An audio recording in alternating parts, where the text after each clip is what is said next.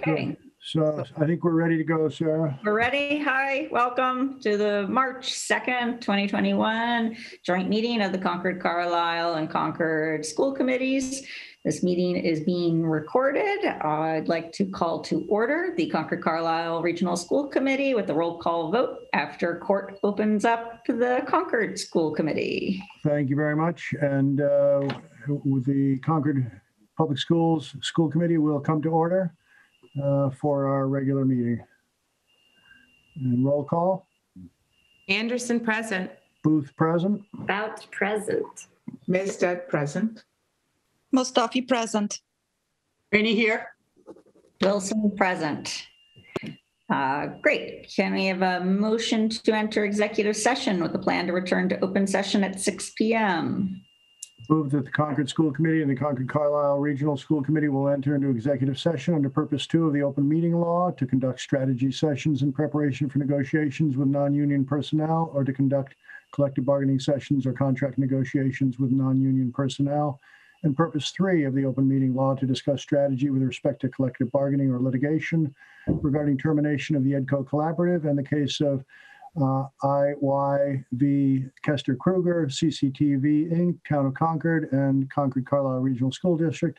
If an open meeting may have a detrimental effect on the bargaining or litigating position of the public body and return to open session at 6 PM. Second, Second for both committees. discussion? Roll call. Anderson, I for both. Booth, aye for both. Out aye for both. Mezdad, I for both. Mostoufi, I for region. Rainey, I for both. And Wilson for region. See you back here at 6. Very good, thank you.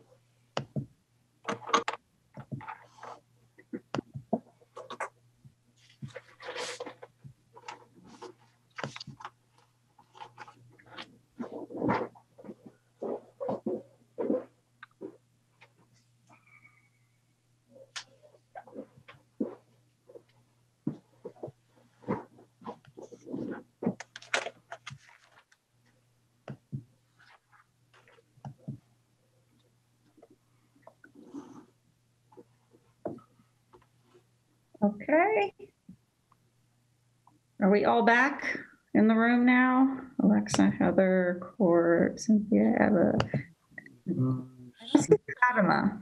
Seven, there we go. Ah, hi. Okay, so welcome back to the open session of the Concord Carlisle and Concord uh, School Committee's March 2nd meeting. As previously noted, we are being recorded.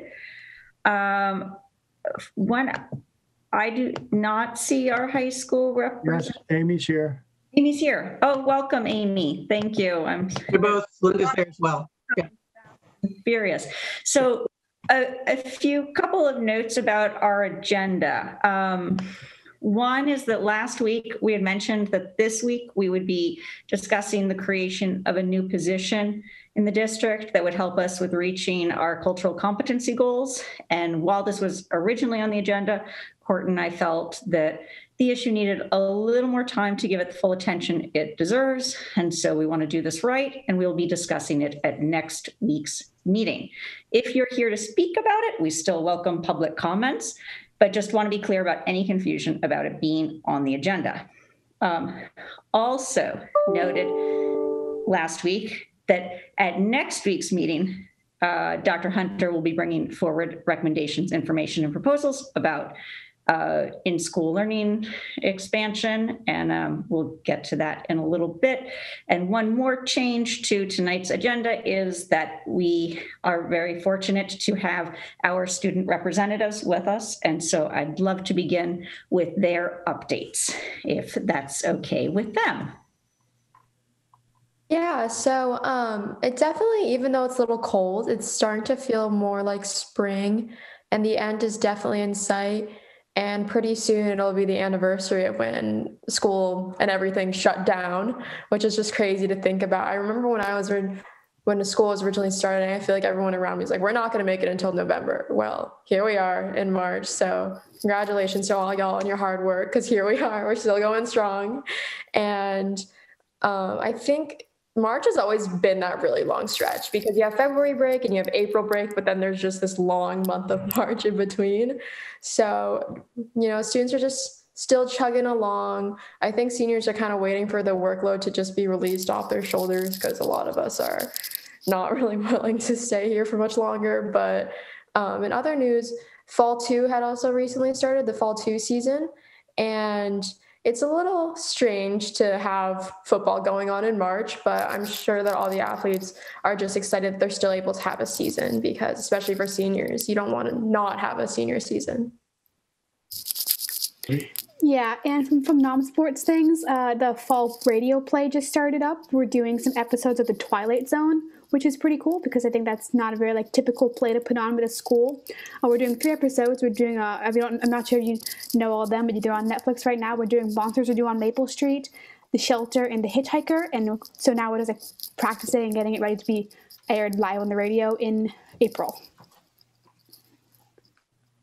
I think that's basically it. Yeah, that's pretty much all. Thank you. Thank you very much. Stick around for a moment, if you would, Linda and Amy, because we, we did have something else come in from the high school today, which you probably already know about. So I think this would fit uh, Sarah under under high school news. Um, the principal uh, uh, asked that we might share this, and I'll, I'll paraphrase a little bit. Uh, a piece of correspondence that came from uh, Julia Zappoli. Do I pronounce her last name correctly? Uh, she founded Caring for the Front Lines, Concord and Carlisle, uh, to show appreciation for the town's frontline workers. Uh, she raised, I'm sure uh, with her leadership, but probably help of others, she raised $6,500 and thanked over 850 essential workers. Uh, and she's got uh, pictures uh, to, to share with any interested people. And I'll quote now exactly from her, her letter. Now it is my goal to thank every CCHS employee for their essential work throughout the pandemic. I am extremely grateful to all of my teachers, exclamation point. In addition to the teachers, CCHS would not have been so successful in their reopening plans without the teamwork of the administration, the teachers, the tutors, the nurses, the maintenance staff, and every other employee in the building. Your continued hard work has kept the schools open. Your hard work has not gone unnoticed, and I would like to recognize you all for it. That being said, I have decided to dedicate the next appreciation to effort to CCHS. And then she continues on uh, that uh, there will be a food truck, part of her uh, program, a food truck coming to the high school for uh, the many people she wants to thank on Thursday, March 18th. So I think we uh, want to uh, give a shout out, and I know Amy and Linda will join us uh, to Julia uh, in particular, but also to what Julia represents, which is all of these students and all of the uh, staff and faculty who have, as you said, Linda, uh, worked through this for now going on a year with uh, with extraordinary resilience, uh, with with uh, gestures of kindness for each other, with a, with a lot of patience, um, when necessary, even some forgiveness for all the uh, the challenges that have been thrown thrown their way. Uh, so. Um, we wanted to fit that in also here as part of high school news and say uh, we think she's a superb representative of a superb group of students uh, who are doing so much to recognize the faculty and staff who have been there every day to support them. So thank you, Amy. Thank you, Linda. And thank you, Julia. Thank you all. Thank you all. Um, so yes, so, so as mentioned, uh, next week there will be more robust information about uh, continuing plans for um, expanding in-school learning. But I believe that Dr. Hunter would like to share, um, like to address the audience on this topic before we get underway. Lori, you're on mute. Thank you. Uh, We thought it would make sense, knowing that uh, there's likely people attending with a lot of interest in what's happening with our plan for expanding in-person learning time. So I thought it just would be helpful to give a very, you know, one-minute highlight of where that work is at. Um, It is active and ongoing across all of the schools. Um, We are very much, I believe, ready to say uh, the first week in April that we will be able to uh, have the elementary kids stay all day. Um, we've got a lot of pieces that are still coming together and a lot of details to work out.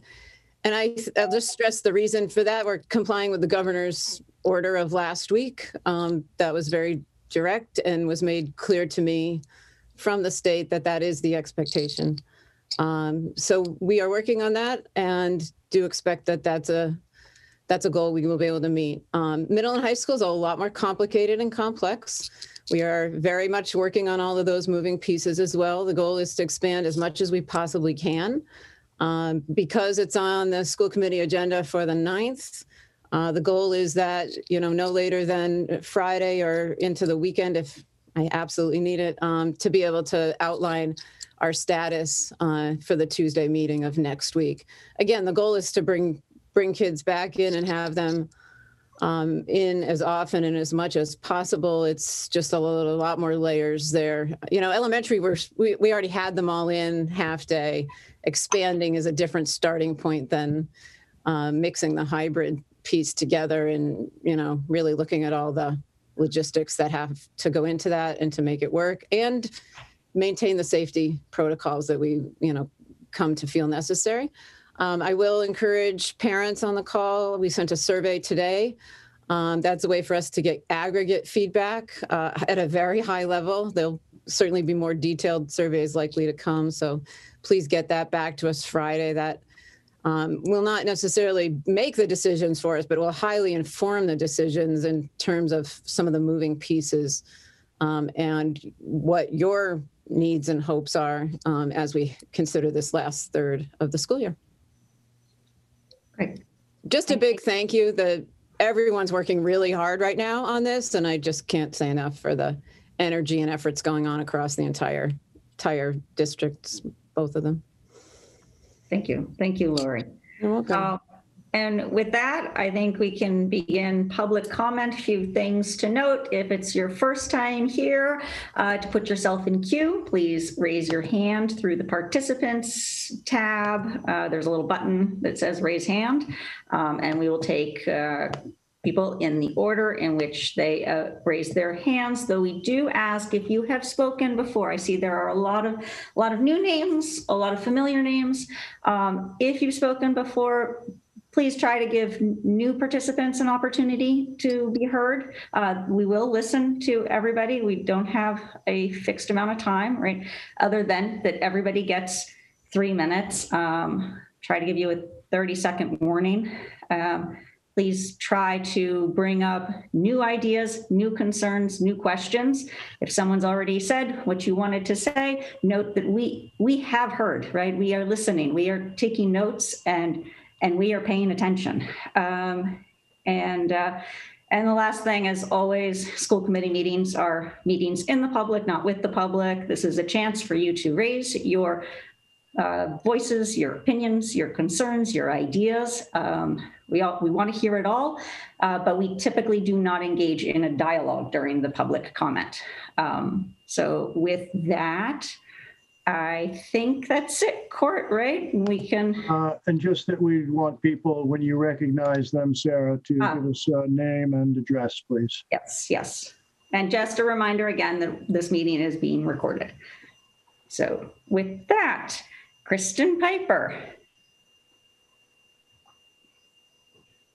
Hi, thank you. Um, my name's Kristen Piper. I live at 30 Oak Road. Um, I want to start by thanking all of you for everything you're doing. And Dr. Hunter, thank you for the survey today. That was great to see.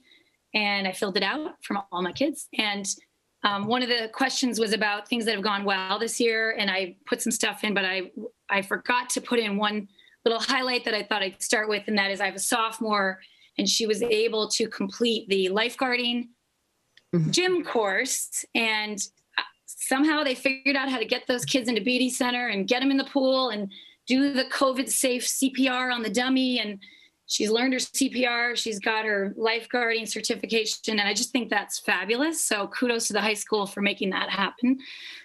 Um, I am in support of more in school learning for our middle and high school. And as as you look forward to that and as we move towards that, I would just encourage us to remember that one of the huge reasons hybrid has been so hard is because it's just so hard to learn on the Zoom calls. And I have kids that are in, in normal times pretty functional students, and they're telling me, and their friends are telling me, Mom, I'm trying, I'm trying to pay attention, I'm trying my best. I just can't get it when I'm on the Zoom. So my worry is that we're going to consider bringing them back into the building to sort of check that box, but they might be like in the corner of the cafeteria with headphones in a mask on the same Zoom that they might have been at home without a mask in their bedroom, and it might not change that learning ability. So what I want what I hope that you guys are discussing is not just in the building, but with their teachers. And I think that that face to face or mask to mask, whatever you want to call it, impact of teacher directly looking at the student saying, Are you with me? Do you have this? Can we move forward? is like, we just can't put enough value on that. Um, I'm not even going to address all the social, emotional, loneliness, depression, all that stuff, which is like really kind of exploding now that we're a year into this. But really, this comment is just about the academics. I hope they can be in the room. I don't know if that's 18 kids or 22 kids or however you're going to do it, but that's that's my hope that it's not just in the building, but it's literally with their educators. Um, that's all. Thank you. Thank you. Thank you. And do we have any other comments?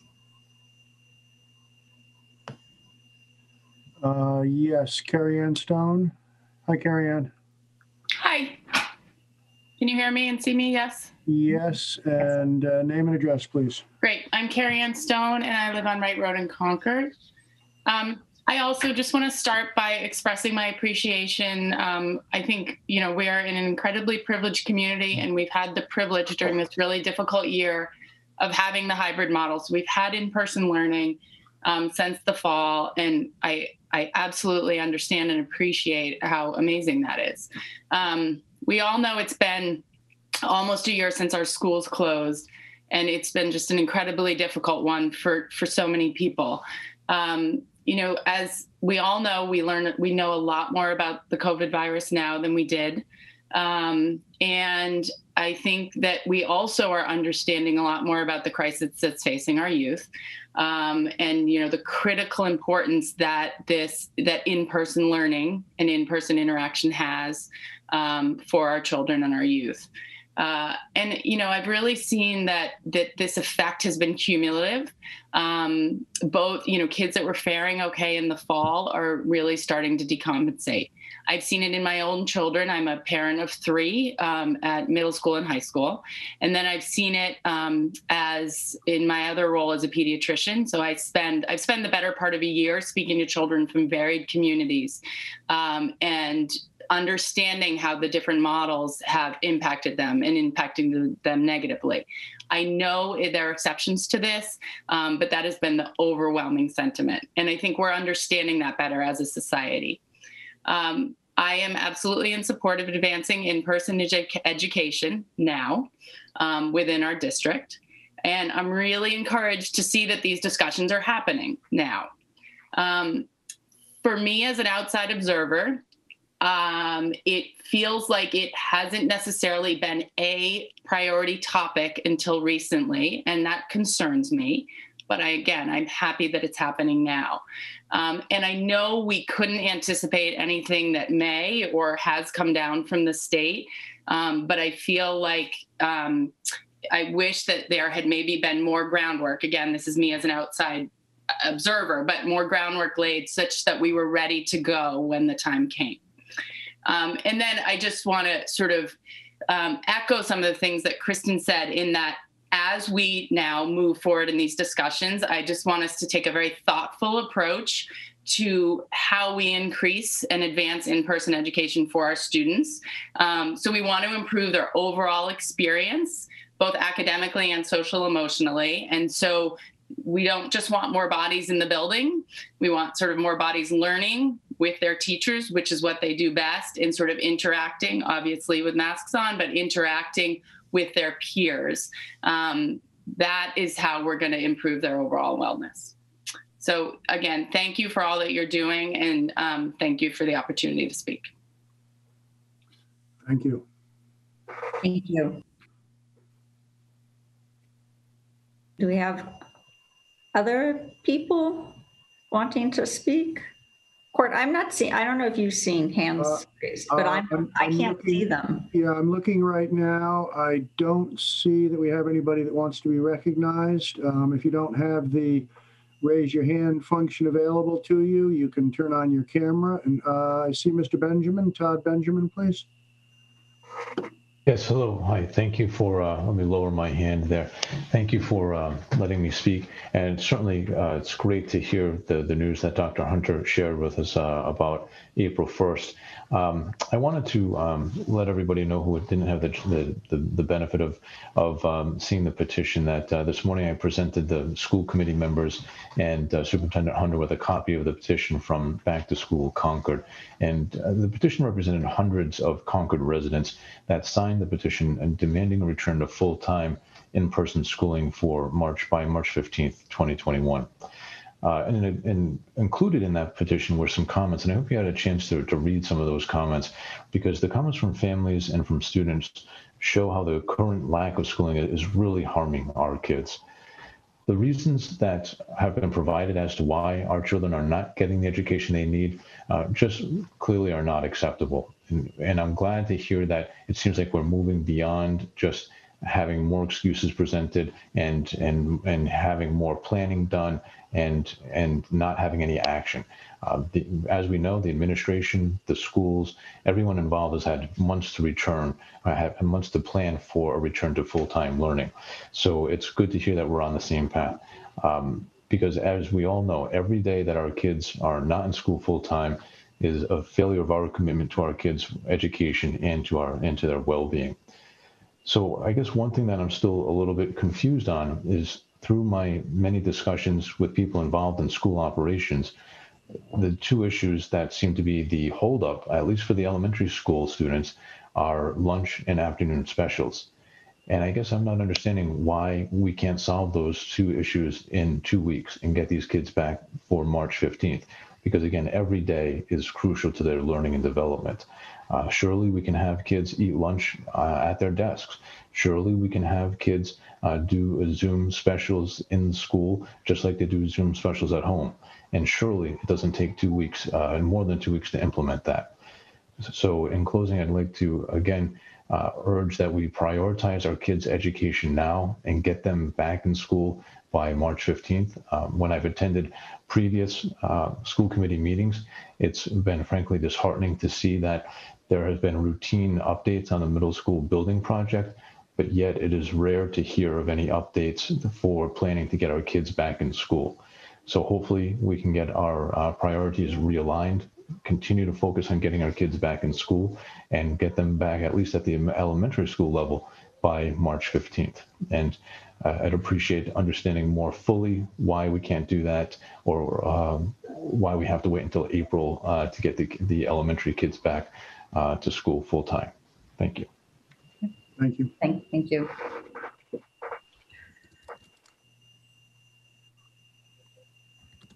Do we have other public Other- comments, please? New speakers, returning speakers? Anyone? I don't believe so, Oh, Sarah. John, John, Oh, John sorry. Madden. Yep. Yep, we have, we have a few coming. Dr. Madden, would you care to turn on your camera? Hi, everybody. Um, so I'll keep it brief because it. If you just, forgive me, just protocol, name and address. Oh yeah, uh, John Madden, 1394 Main Street. Thank you. And um, so I think um, what we're hearing uh, on this occasion is is largely positive, and we're happy that it's moving in that direction.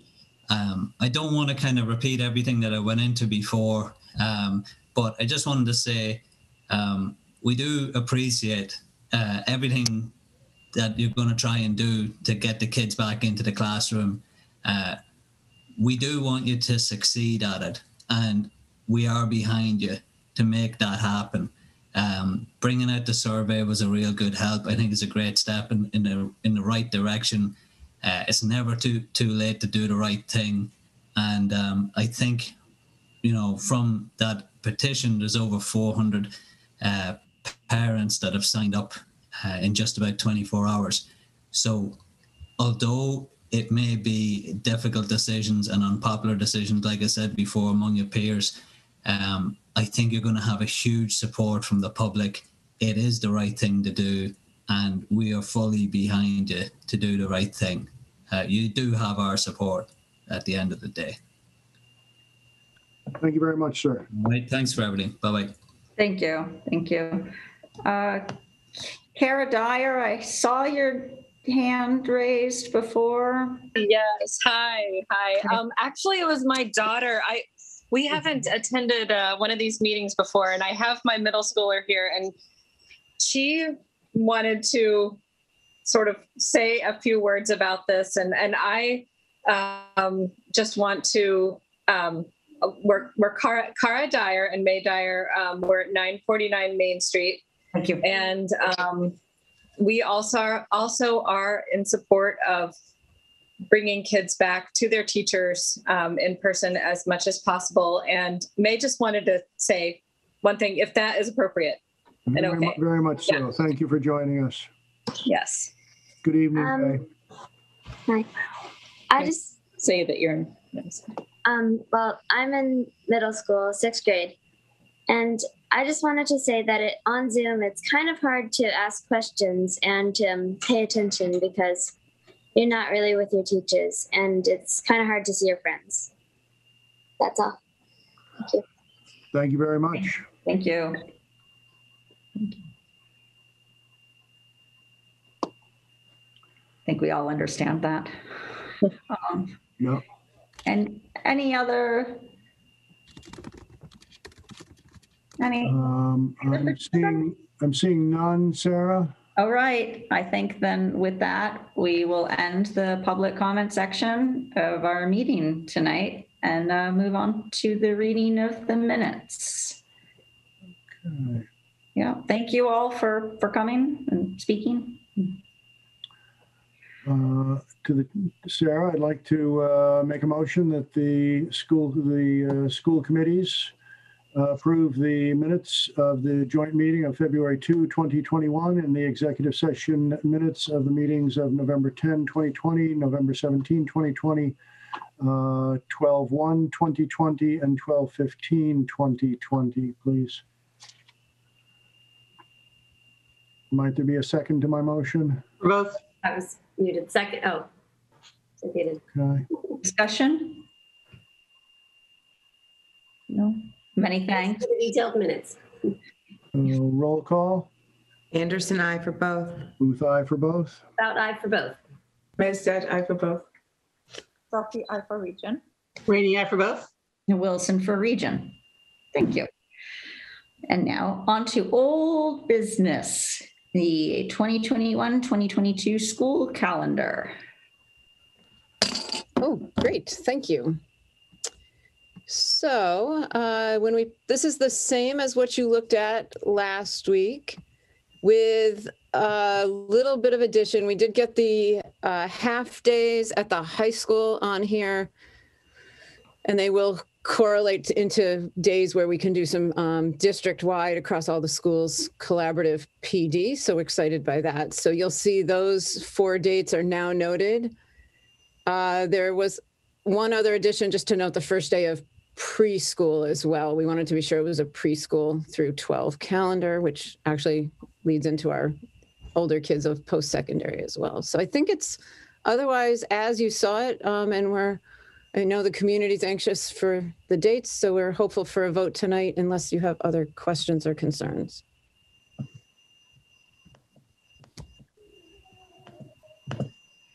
Uh, I don't, and I would note that we didn't receive any uh, public correspondence uh, uh, following last week's uh, sharing of the, of the uh, earlier draft of this.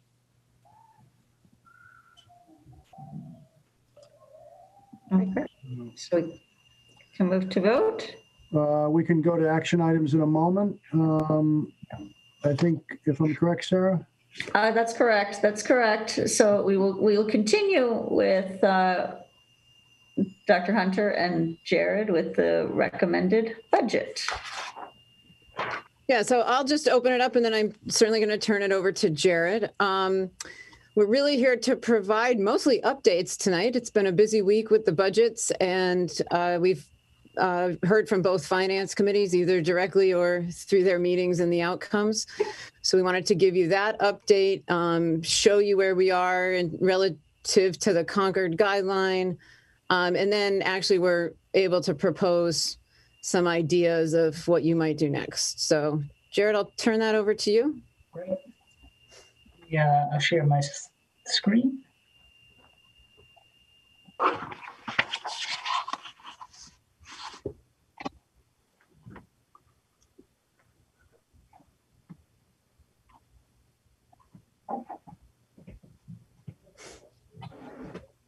Can you all see that? Yes. Great. Um, so we have some some some actually good news. Uh, last Thursday, the uh, Concord Finance Committee uh, increased their their guideline amount. Uh, as you know, the assessments, um, especially the Concord side, is sort of driving driving the numbers this year due to the enrollment shift. Um, so the as of today, our current um, assessment to Concord is nine hundred seventy-nine thousand two hundred sixteen dollars. Um, but and they increased their guideline to nine thousand nine hundred thirty-one thousand two hundred thirty-one. Therefore, we have a delta of forty-seven nine hundred eighty-five dollars uh, in Concord. But due to the formula, we're actually uh, have a, a delta of sixty-two thousand sixty-one dollars. Um, so we sort of have a way that we could potentially get there. Can you go So back, Jared? Sure. Go back one slide. Is it the assessment or an assessment change we're looking at? so this is the uh, the total increased assessment. So it- it's the Increase assessment over- change. So increase over fiscal 21. Correct. Yeah. Thank you. Thank you. So we are still, as we told you, we would be doing sharpening our pencils, taking a look at every line, uh, getting feedback from uh, school committee members.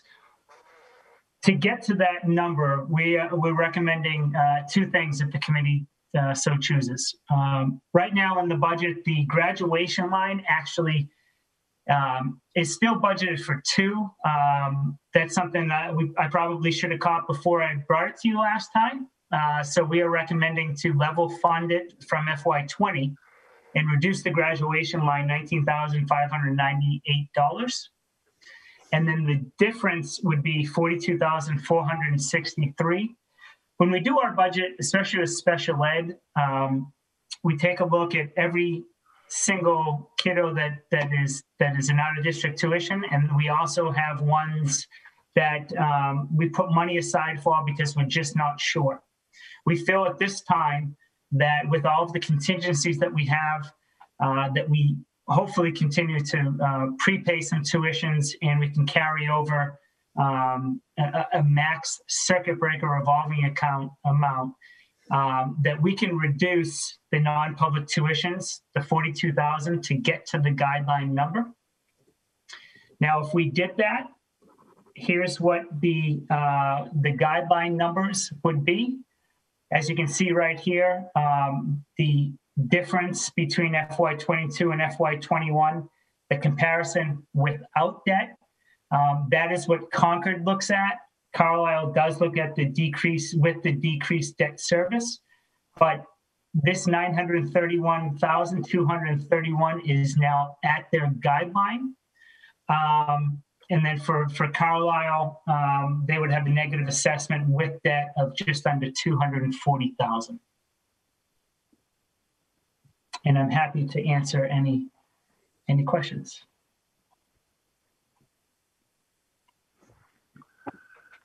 I just wanted to add, I think, um, and we haven't met with them again since, but just in hearing from the Concord Finance Committee, there um, change of guideline, really, we're grateful for that. I think um, there was a real effort to to work with us and um, make this a successful budget season. We heard the exact we didn't get into exactly numbers and trying to close close it all out but carlisle was of the same sentiment last night and i think you know we're really working collaboratively and together and that feels really good especially given the you know crisis we're doing it in the middle of so just grateful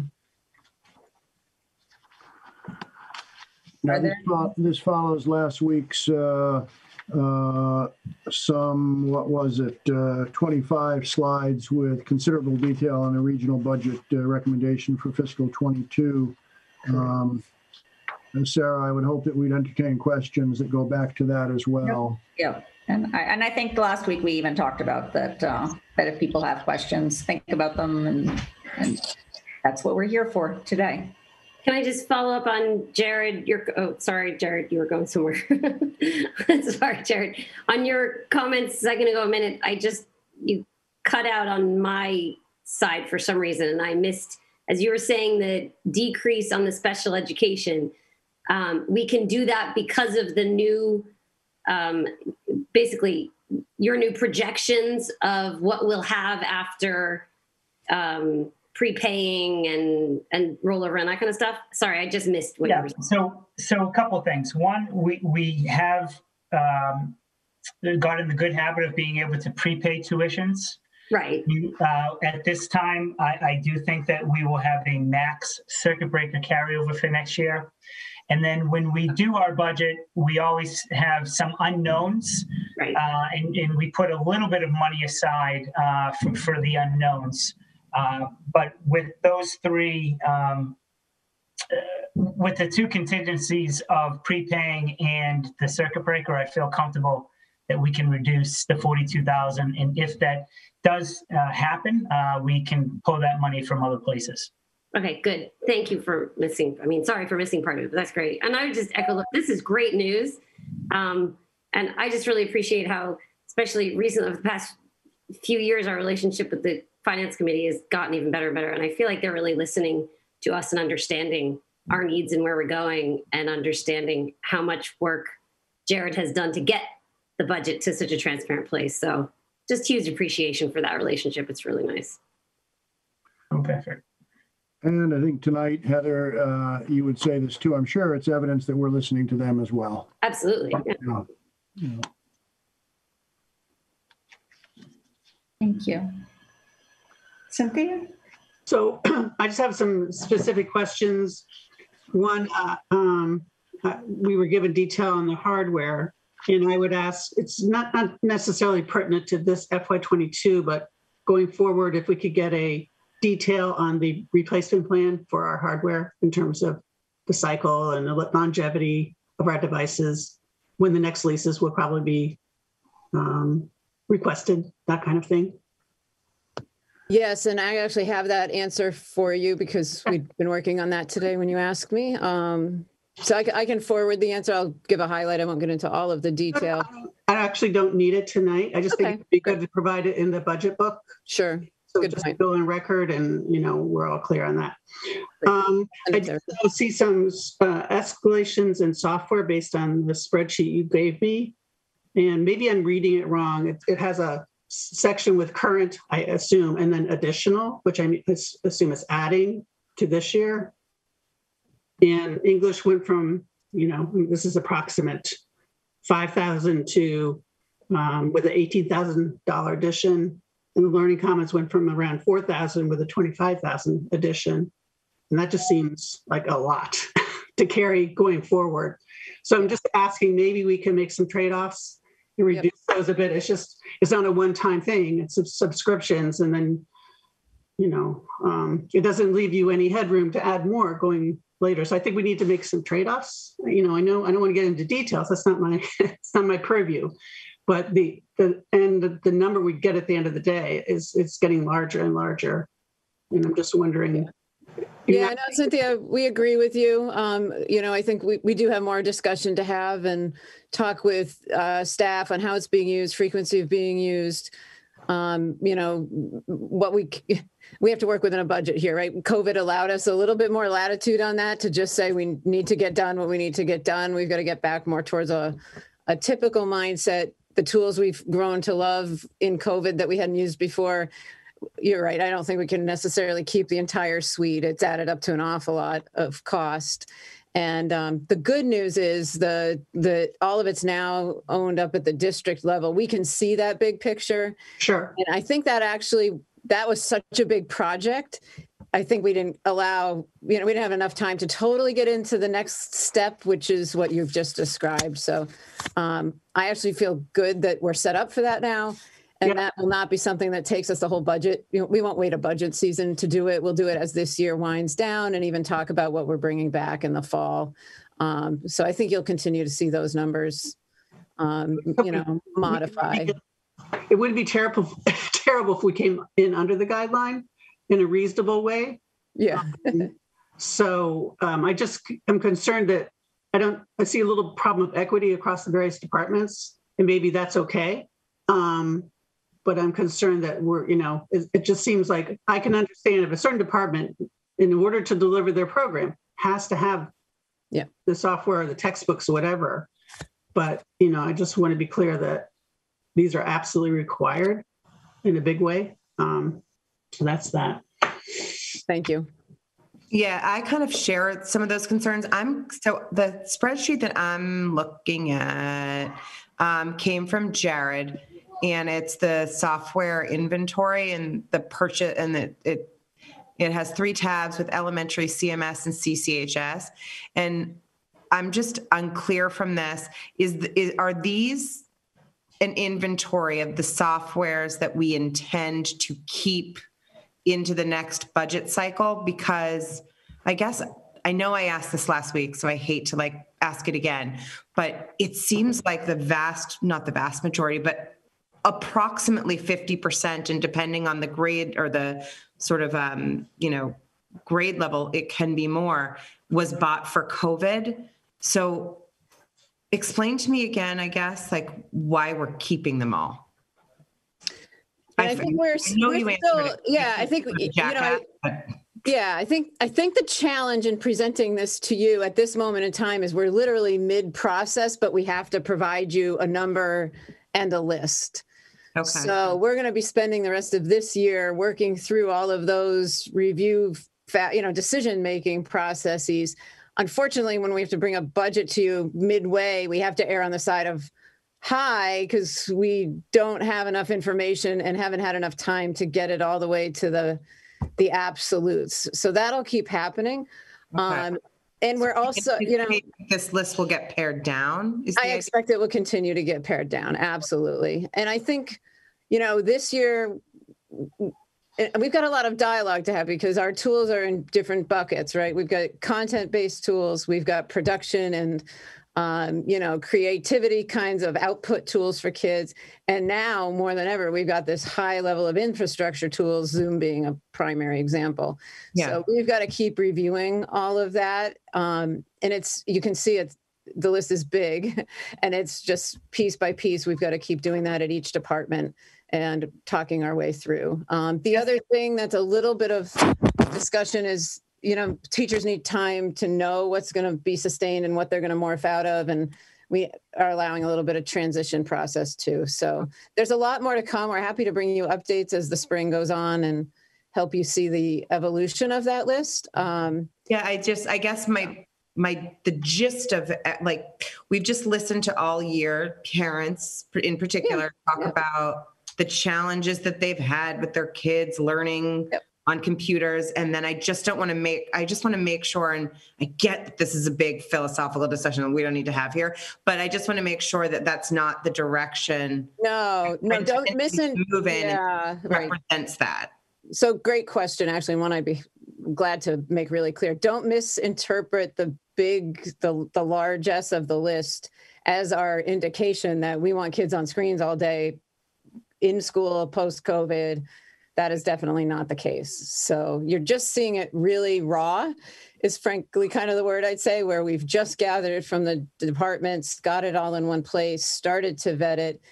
The inventory's made. Now we can keep having those conversations. I absolutely agree with you, Alexa. Okay. Um, in good news, I guess in good news, there are some gems on there that we didn't have pre-COVID. So um, there's been some really great gains in terms of which tools we're using, and now we just have to really vet the the suite and get the the options set down to what do we really need and what's to our maximum benefit.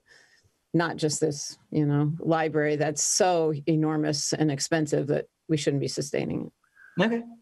We we have lived through a few of what we have sometimes in this district called technology infusions such has been their magnitude um, so I'm hoping once we get caught up with what we think we have and how we think we're using it, we stay caught up.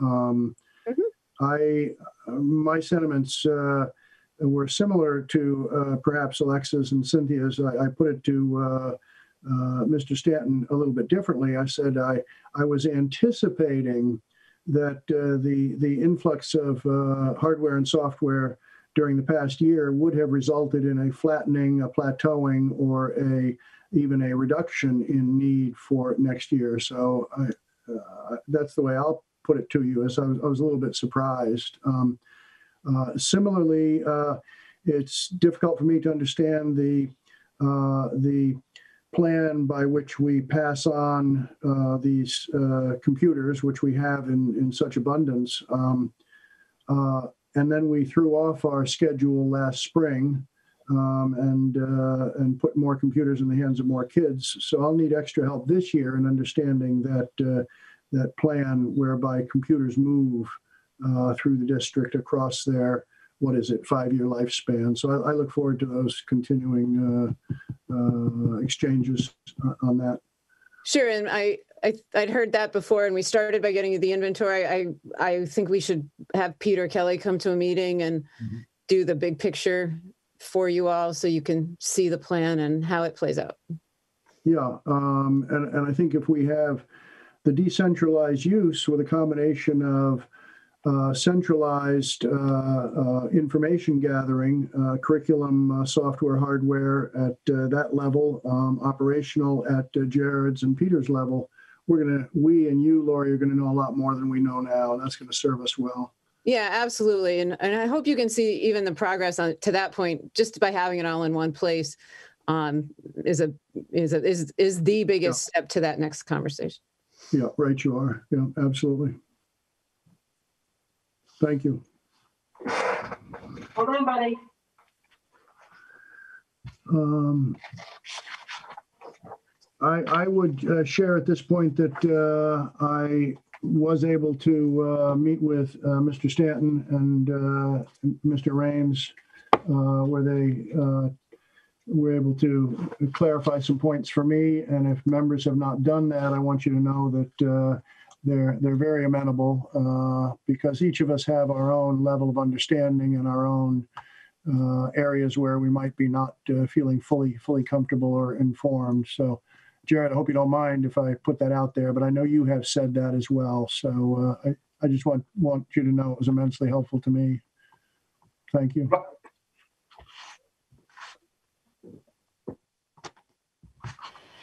Any other questions, comments?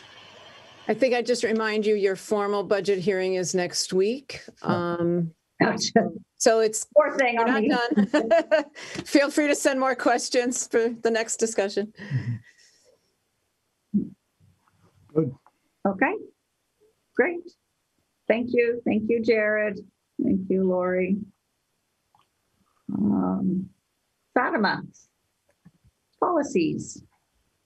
All right. Um, yeah, so bringing back one policy that we've had a chance to um, review and discuss further than we had done uh, first time around in January. Uh, the uh, policy subcommittee met. Uh, we've had our um, monthly meeting this past Thursday, and uh, I think we devoted much of the meeting to this one policy. As I said, uh, last uh, meeting, I felt that I hadn't done my due diligence and I felt that the topic or the policy uh, needed further discussion. Um, so thank you for giving us the um, the time to, to, to discuss it. We are coming to you um, with a recommendation that we came to uh, with a split vote, and I can give you a little bit. Um, I can go over the policy uh, as it exists now in the book and uh, the proposed language, and um, where the policy subcommittee stands. Um, so I'm not sure if this is okay with the process. If, uh, the chairs, uh, can I do this at the at this point, and then we discuss um, when it is uh, time to approve the the motion. Yes, this is presentation, uh, uh, uh, explanation, discussion. So we will invite you and your uh, your colleagues on the subcommittee to uh, share what you wish. Thank you. All right. So. Um, I, I would like to share my screen, but um, could give it a try if I may, please, because I have the two policies uh, side by side. Um, if I, let's see. Um,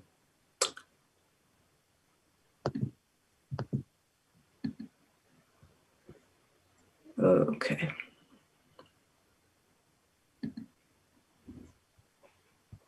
I have them ready too if you want me to do it. Okay. Do you have them side by side, Lori? I do. Okay, that'd be great. Hold on one sec.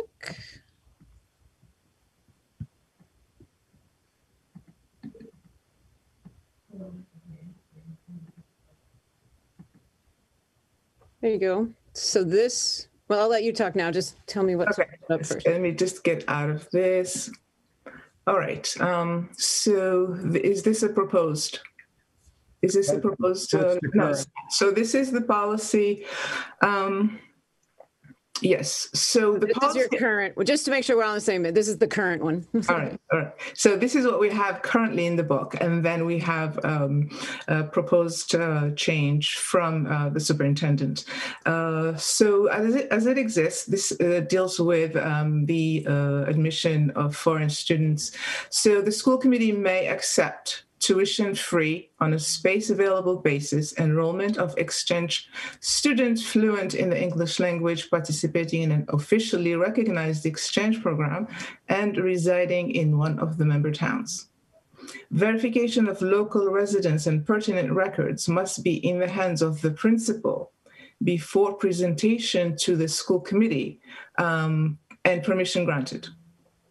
And the change that has been proposed by the superintendent is in the last paragraph, uh, where the verification of local residents and pertinent records must be present, presented to the superintendent instead of the principals.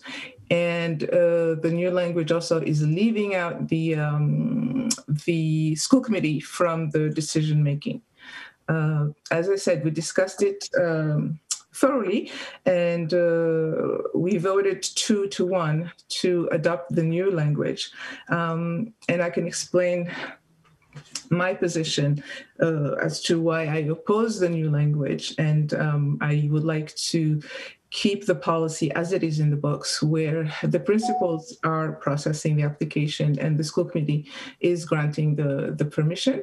Uh, as uh, I had said to my uh, subcommittee, I don't see uh, the necessity to change it. I think that. Um, it would erode the authority of the, the school committee, which is unnecessary.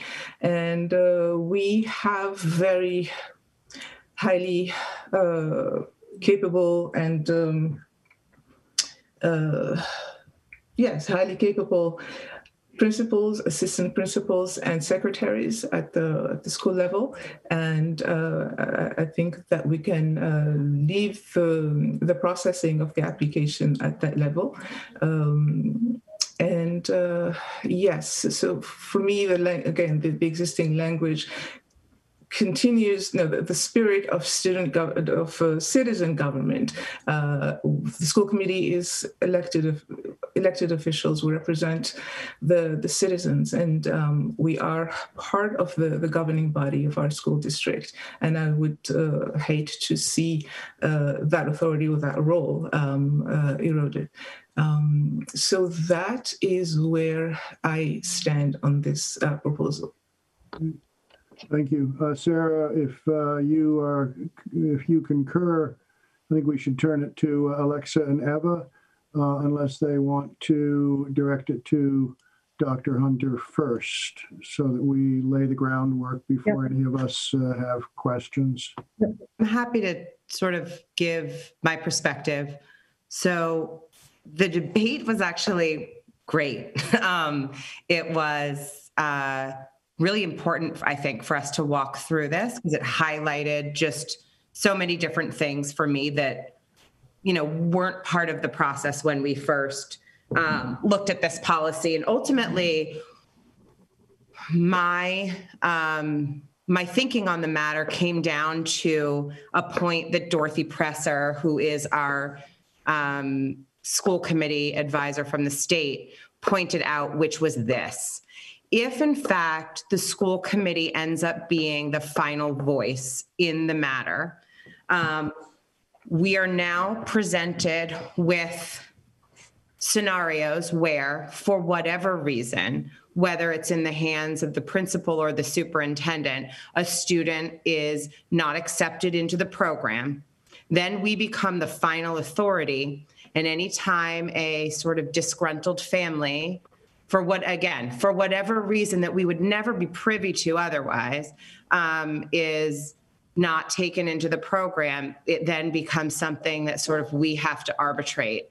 And I just didn't know, you know, if if that was something that really was up to us. And I think, you know, we kept discussing, for example, the difference between the school committee's role in accepting um, students um, that are children of teachers. And and I we discussed the differences here. And I think it's important for example for the school committee to continue to weigh in on those processes because when we accept a student let's pretend in first grade this is like potentially a I can't do the math, um, like a 13 year commitment that we are making to a student and a family to educate them throughout the tenure of, um, you know, their elementary and secondary education. This kind of a program where where the students are being accepted tuition free is really like what amounts to a quick in and out. Um, so there aren't there aren't the same sort of fiduciary like it's not that heavy from a fiduciary standpoint um, that I think you know it makes sense for us to weigh in. So it was really at the end of the day, those two things, we really didn't discuss, for example, as much the change in the language between the principal's office and the superintendent's office because part of that language change um, was to reflect, reflect current practice. So that was to me the lesser part of the debate in, in terms of crafting the policy than the the removal of the school committee in in the technical granting of permission. So again, that's just sort of where I netted out. Sorry, that was long-winded. Apologize.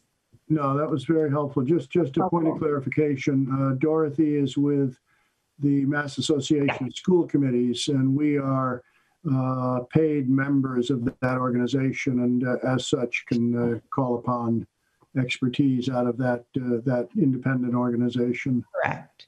Um, if I'm correct, Alexa, is, uh, is Eva on your subcommittee as well? Yes, she is. is. Is there anything else to add? And I think we certainly want to hear from Dr. Hunter. If in fact you were the original proponent of this, I'm sure you can help us too. So um, I just wanted to add um, uh, this um, before we hear from Dr. Hunter. Um, I, I think Alexa uh, touched on um, many points that I um, I've looked at uh, this policy in very similar similar way. The thing that I do want to add is uh, we are basically cleaning up the policy to match what is happening currently in uh, practice. So it is consistent with, um, so our policy reflects what, what's consistently is happening on the ground. Um, and we are not, uh, just wanted to add that we are not removing the school committee role um, in the whole process because the first, um, the first portion of the policy says that committee school committee may accept tuition free on space available basis. So it, it doesn't remove us from that, from the overall ro- role of um, deciding whether um, highly uh, popular exchange program uh, that benefits um, our students just as much as the students that uh, uh, come in and visit us, um, you know, the, enriches the diversity of, um, of our student body for a short time. Um, that this um, highly uh, uh, uh, highly um, uh, the, this this program uh, we have the final word in saying whether we have the funds we have the um, uh, broadband to to keep it running.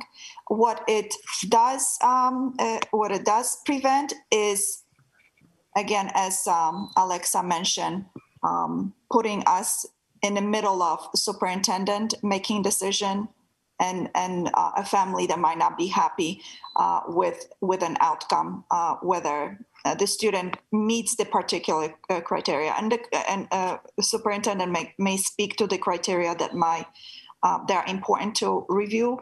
Um, one of them is language um,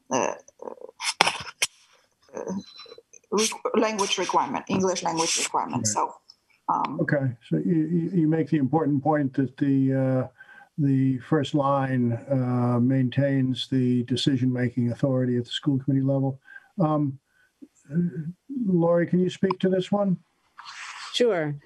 And I'm just not going to repeat what's already been said. I think just a couple of points of clarity.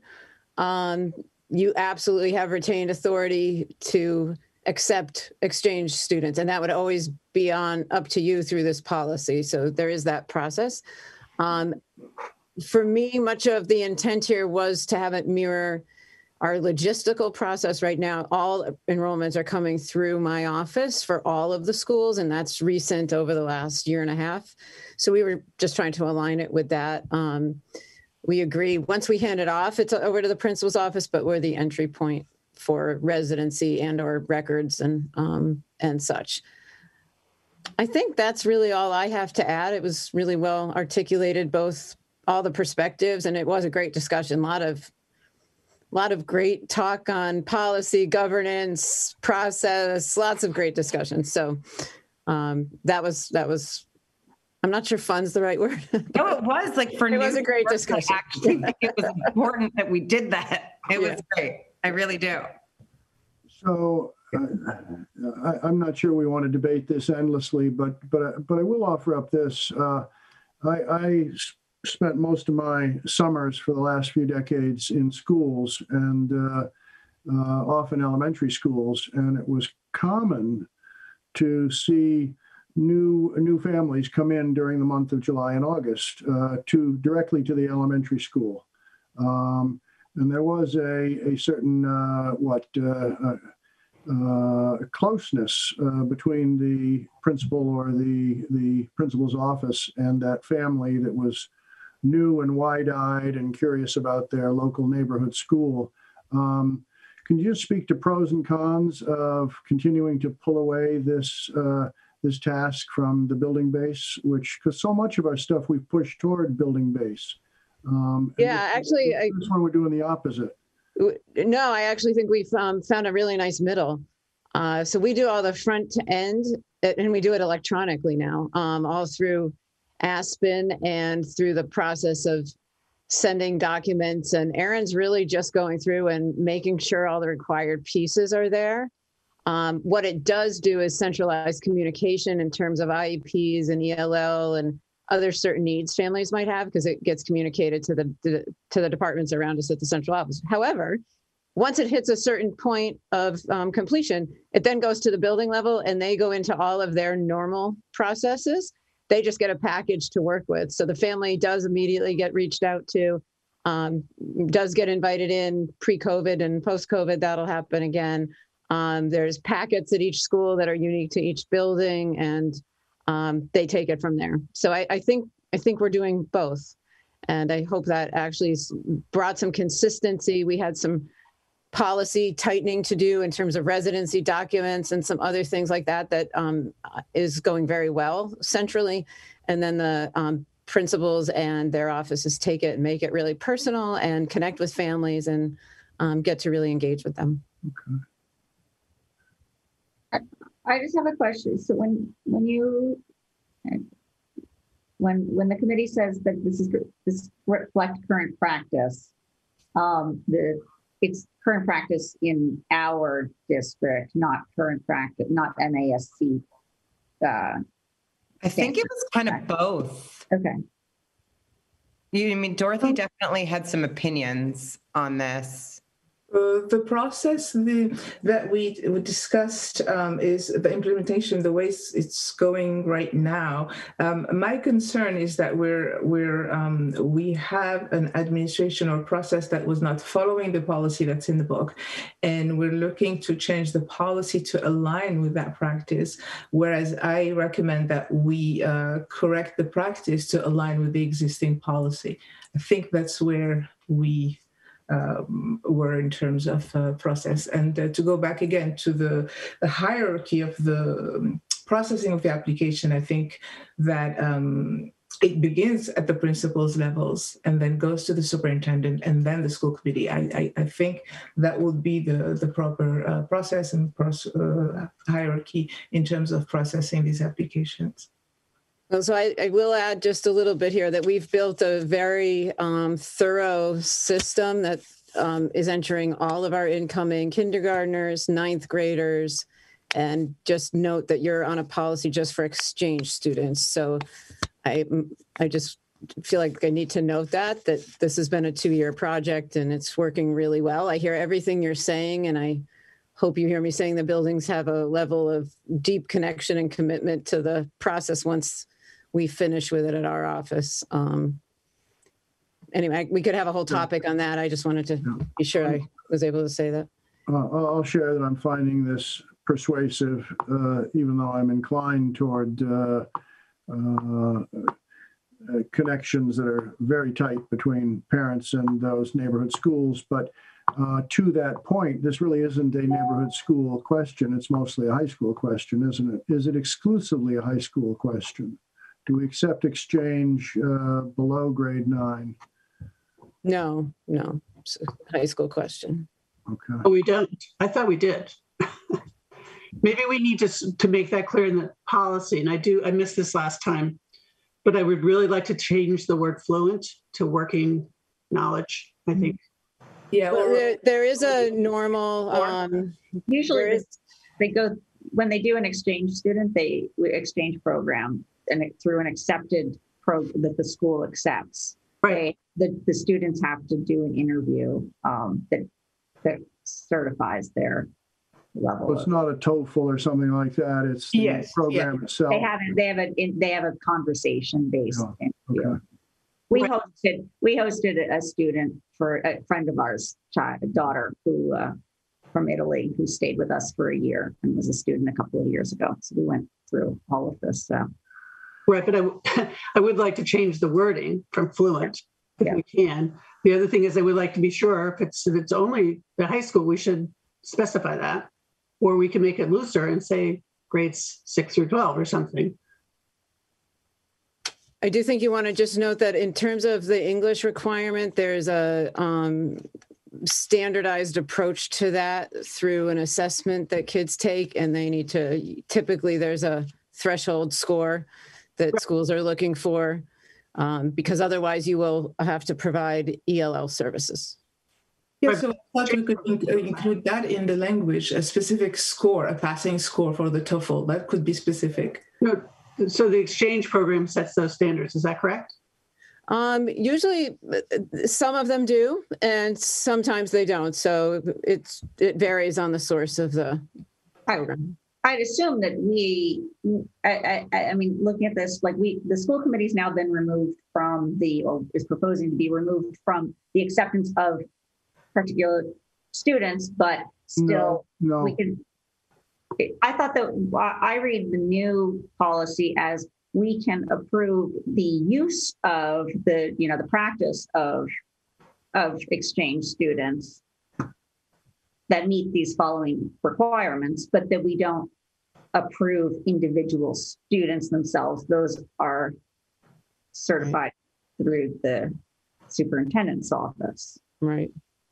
right? Well, then I, then, then I've had two understandings in the last 10 minutes. Um, and maybe it's just me, because I, I thought the case was being made that that first sentence uh, kept the decision-making uh, responsibility in the hands of the school committee. I think that the way we concluded our assessment of that first sentence at the conclusion of our policy meeting was that the school committee endorses and that's the existence of the program and that is our role so we support having this program but we are not we are no longer in the business if you will of approving individual students. So i think sarah nailed what we kind of concluded at the end of our policy meeting. And, and by virtue of that, I feel that we, we, we can decide, I guess, although it's not explicit, like if we think that a program follows a good protocol for determining uh, student eligibility, right? Like to that.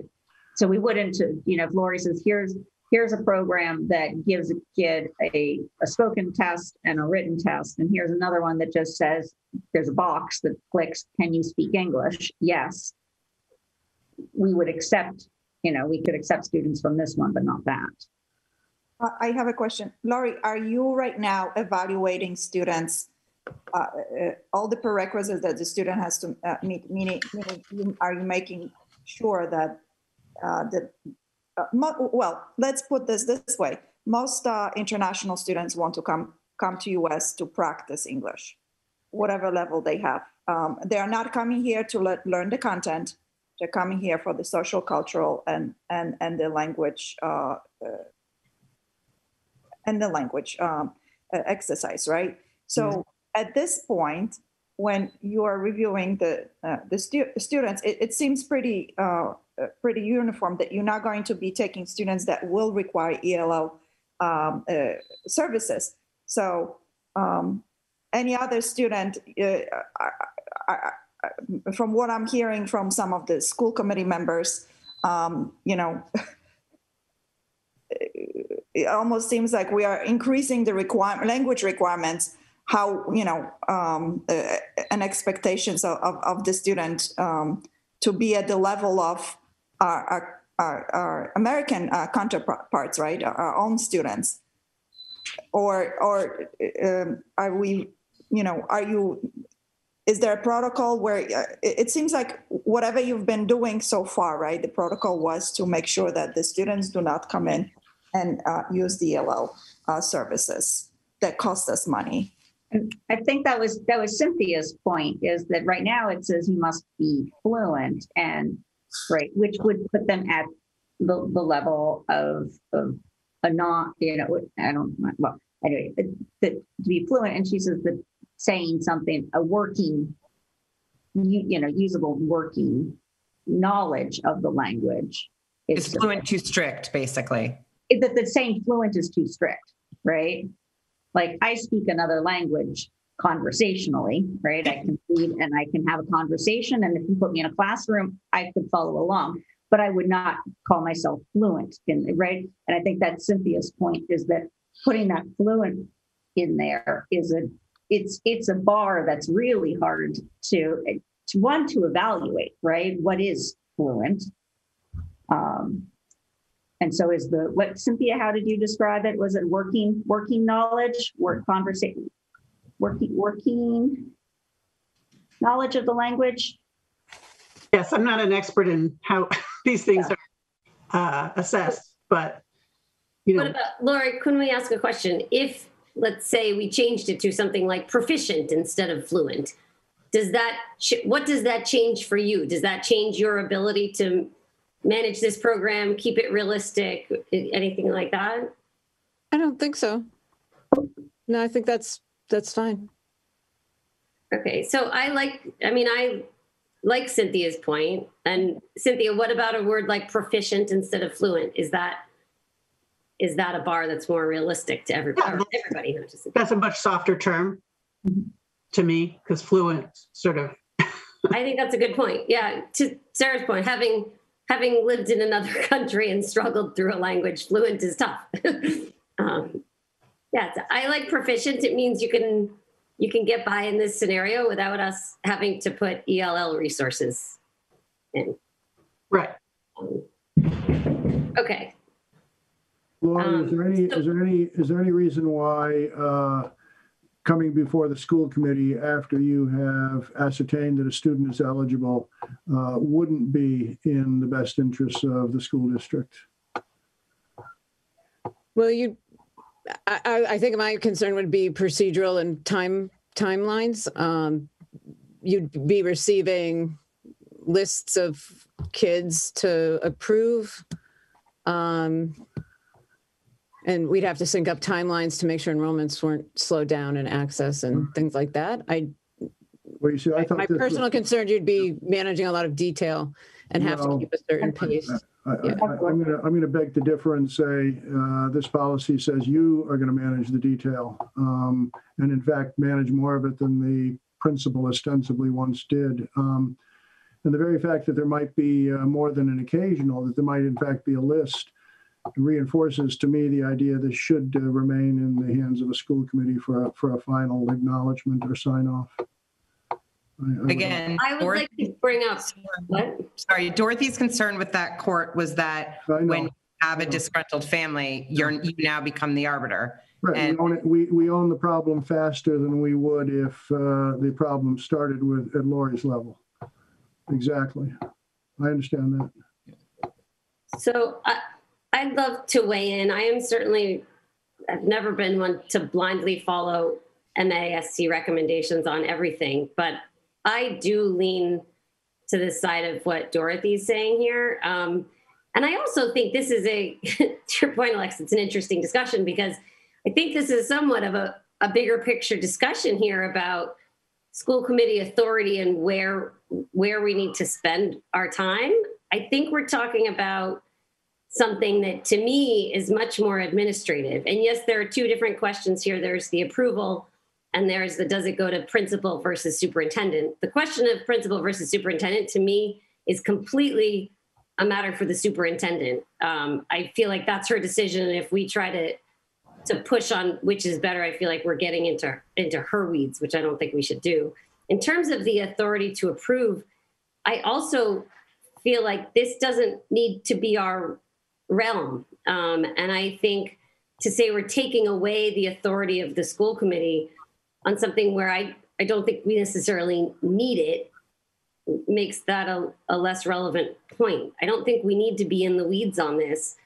And I feel like, like Eva and Alexa said, the school committee is weighing in here by approving this overall program and process and that we don't need to get in the weeds of which specific kids we're bringing in i i strongly feel that's not our job I would, I would counter with, uh, I, I don't think uh, that's where we would pay attention to, you know, particular kids. Um, because the details on those kids would not be necessary if Lori's office or a principal's office, but uh, to your point, Heather, the, the superintendent's office has said this, uh, this application has passed muster. Then our job is not a particular child as compared to some other child. It's instead, here's somebody eligible, so we're going to devote district resources to support this child for a year. It's at that point, it's pretty simple. You could say it's pro forma even, and I would venture to say it probably is. At least, at least it's- at least it's known at that point that we're devoting school resources to another exchange student or to a list of exchange students. I think that should be on some radar that uh, goes beyond Lori's office. Just my, So I think my opinion. though. By doing this, what I'm saying is by supporting the program, we are doing exactly that. It's just that instead of doing it each time somebody applies, we're doing it now. We're saying, we agree to put the resources behind this. I, I'm not, I, I, exactly I'm, that. I'm not going to support carte blanche for a unknown, uh, an, an unknown responsibility, a, responsibility we can't- quantify for numbers. I'm not comfortable with that. I'm sorry. Yes, and I would add also uh, that the policy as it exists aligns also with other policies um, in the book in terms of admission um, going through the uh, school committee. Um, and again, we're not getting in the weeds. We're not ta- talking about micromanagement. We're talking about the authority to admit students to our school district, which um, again, we'll be uh, using our resources and, and uh, our, our budget, and that comes and the liability also that that is that that is a liability, and we are taking responsibility for these students when we approve them, um, and I think it, if if anything, it does. Uh, free the central office from this uh, responsibility, and um, that's where uh, the responsibility of the uh, school committee falls. And uh, I, don't, think it is fair to ca- characterize it as uh, getting in the weeds and micromanagement. Fatima, when you say that it's it's how we already do acceptance of, of students, I mean, I, I I would think a case could be made that in some cases we accept students if they meet certain, you know, for residency, for example, right? If you meet residency requirements, it's not that the school committee says, okay, here's a list of 1,300 students and like they, you know, they need to be voted on. As long as it's more like that first paragraph of the revised one, right? The school committee accepts students who meet the residency requirements and that information is verified by the superintendent's office. Correct? And uh, instead, when we get to something like like staff and faculty children, then it flips and goes back more towards the current language. Correct? Yes. And way of characterizing? Yes, and and for me, I don't see the difference uh, if we approve. Uh, yes, it is a longer term uh, uh, commitment with the children of staff, uh, but I think the the two are the same. And uh, if we are approving children of staff, we should apply the same principle to admitting foreign students. Um, and that, that first sentence in the policy, um, I don't feel very comfortable with uh, the word may in a policy. It's not explicit, and I'm, I'm very uneasy with uh, unexplicit words in uh, when, when, when we're dealing with policy. I would like that to be uh, clear, not the word may. So it's not really dependable. It doesn't really define our role. The word may, there, that first sentence for me, does not define the role of the school committee um, because, you know, it's may. Um, I think that just provides us flexibility so that in times of fiscal crisis, for example, we can say, we as a school committee, you know, now should suspend this program. I mean, I think, you know, we advocate or we approve uh, for Uh, these programs and then there could be times right without saying i don't approve fatima and jared and cynthia explicitly we might have to say you know this is not a time where we can allocate resources so we may pull it back. I think i think in this instance i see like kind of what you're getting at but i think in this instance that flexibility is essential right? So that we are not always locked into these kind of high level programs if in fact it doesn't make sense for the time whether that's for fiscal reasons or other reasons that i can't you know right now predict So what happens if, if the superintendent authorizes a student, he, I don't know, over the summer, right? And then school committee convenes in September and starts looking at the year, well, let's see, let's see, usually it's, these kids are approved usually around February or whatever. But let's say that, that, that the superintendent authorizes a student before the school committee has come to the realization that the year in which this, this student would be coming is a year where we, we don't have the resources, right? What happens if the student's been authorized, but the school committee then votes to revoke access to exchange students? What, how does that get reconciled? I, th- I think that's where I'm really confused. And I think I think that the policy um, uh, makes that clear because the um, current one. yes, no, yes, the current. about in the revised. In the revised, I'm not quite sure how, how that plays Hmm, out. okay, I see. I see. Okay. And the current, I understand, like, you know, she, she, nobody, or the prince, I guess as it is right now, is the principal, nobody can approve the student officially until, Right. I see. right? And again, having gone through this, I can say it takes, it did take a while to get through the school committee approval process. Like I, I hear that as, as, I remember that, that being long, but I just, I don't know how we, how we, um, resolve that tension about what if a kid gets preemptively approved and the school committee says, we can't do it this year, right? I think the answer to that question actually is, is an argument as to why we need to um, keep the policy as it exists so that we don't get into um, a scenario like that. I don't know. That, Lori, would you mind commenting on that and on how you see it working? Because I think you've thought through this, the logistics of it more than most of us who are just seeing, just listening. So I think we'd have to parallel it really exactly the way we're doing with the staff kids. Like we get it all bundled up and feel like it was tight and then bring it to you. I don't allow access to the staff kids to the school until you've approved it. So there'd be, I think, Sarah, to your point, there's no, you know, preemptive. I don't, they don't enter till you've approved. But in the new, in the new iteration, they would. In the new They iteration, would be subject to our approval, uh, yeah, right. right? That is right. So does this mean that sort of at the, in September, the school committee has to vote that says, okay, like we will accept applications for exchange students for the following year? Or, I mean, is that how it gets resolved We could do that. I don't think the way it's written, you'd have to do that because this would probably stand as an umbrella policy unless you changed, changed it and, you know, pulled back. But you could say it's going to be reviewed annually, sort of like school choice, where you do review that on an annual basis and say whether you're going to participate or not. Because I just feel that, I feel like the school committee, there's a chance that, and again, this is, you know, for a small number, but there's a chance that the school committee does cede too much oversight over it by not having, there's no way to stop it, right? Like, there's no way to, if, if approvals have been made contrary to what the school committee and prior to the school committee voicing their their op, their their concerns or opposition or, or desire to stop doing. Yeah, I, I see what you're saying. Yeah.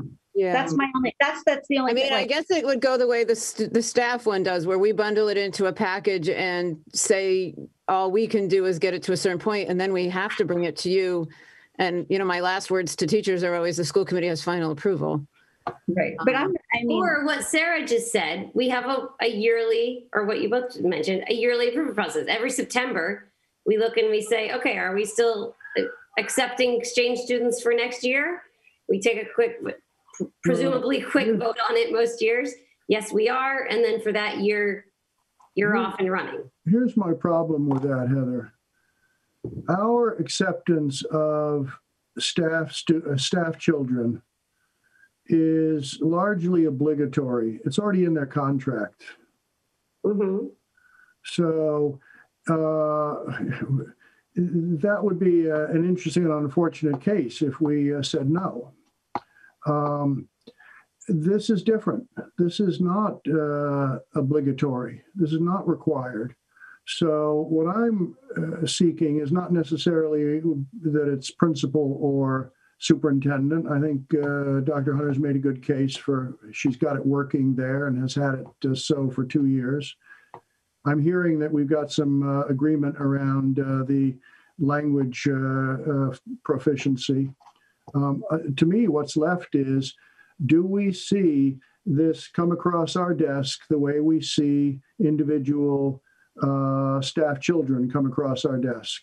Uh, I don't see any reason to change it. Um, I think, given the hour and we've got people in the room waiting for other items, I think we should decide in the next few minutes, uh, is this going to be moved? Then we let the chips fall tonight, or uh, do, do we not move it and uh, have the subcommittee and uh, Dr. Hunter go back with some sense of the sentiments of this committee?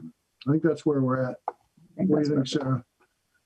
I just offer one last thought. One thing that I'm remembering came up at the discussion was we could do a much better job and, uh, you know, whatever way you vote, it's totally fine. I think we still, you know, need to look at a better um, process of informing you of enrollments of, um, you know, so you have a better knowledge base of who's in the buildings and the exchange numbers and um, just, a, you know, a sharing out that uh, we haven't been doing.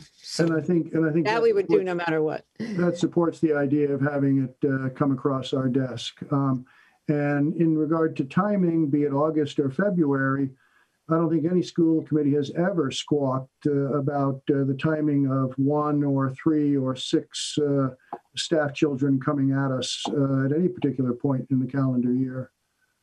Um, Oh, I just have a question. Does this apply also to kids who are on those like week-long exchange programs?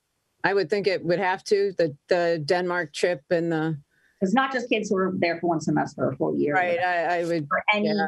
any Yeah. foreign based, okay, okay. That's what I was going to raise because we're kind of, uh, uh, uh, we are, we have an obligation to uh, uh, bring, allow these students to come in and, and spend some time at uh, CCHS if we have sent our student to, to Denmark. mhm. Right. I, I'm gonna propose that, yes, it's getting late and, um, and, and I think there's, there's definitely, we know that there, there's, there's the language issue to, to work out, but there's still some, I think there's some more formula to work on, maybe.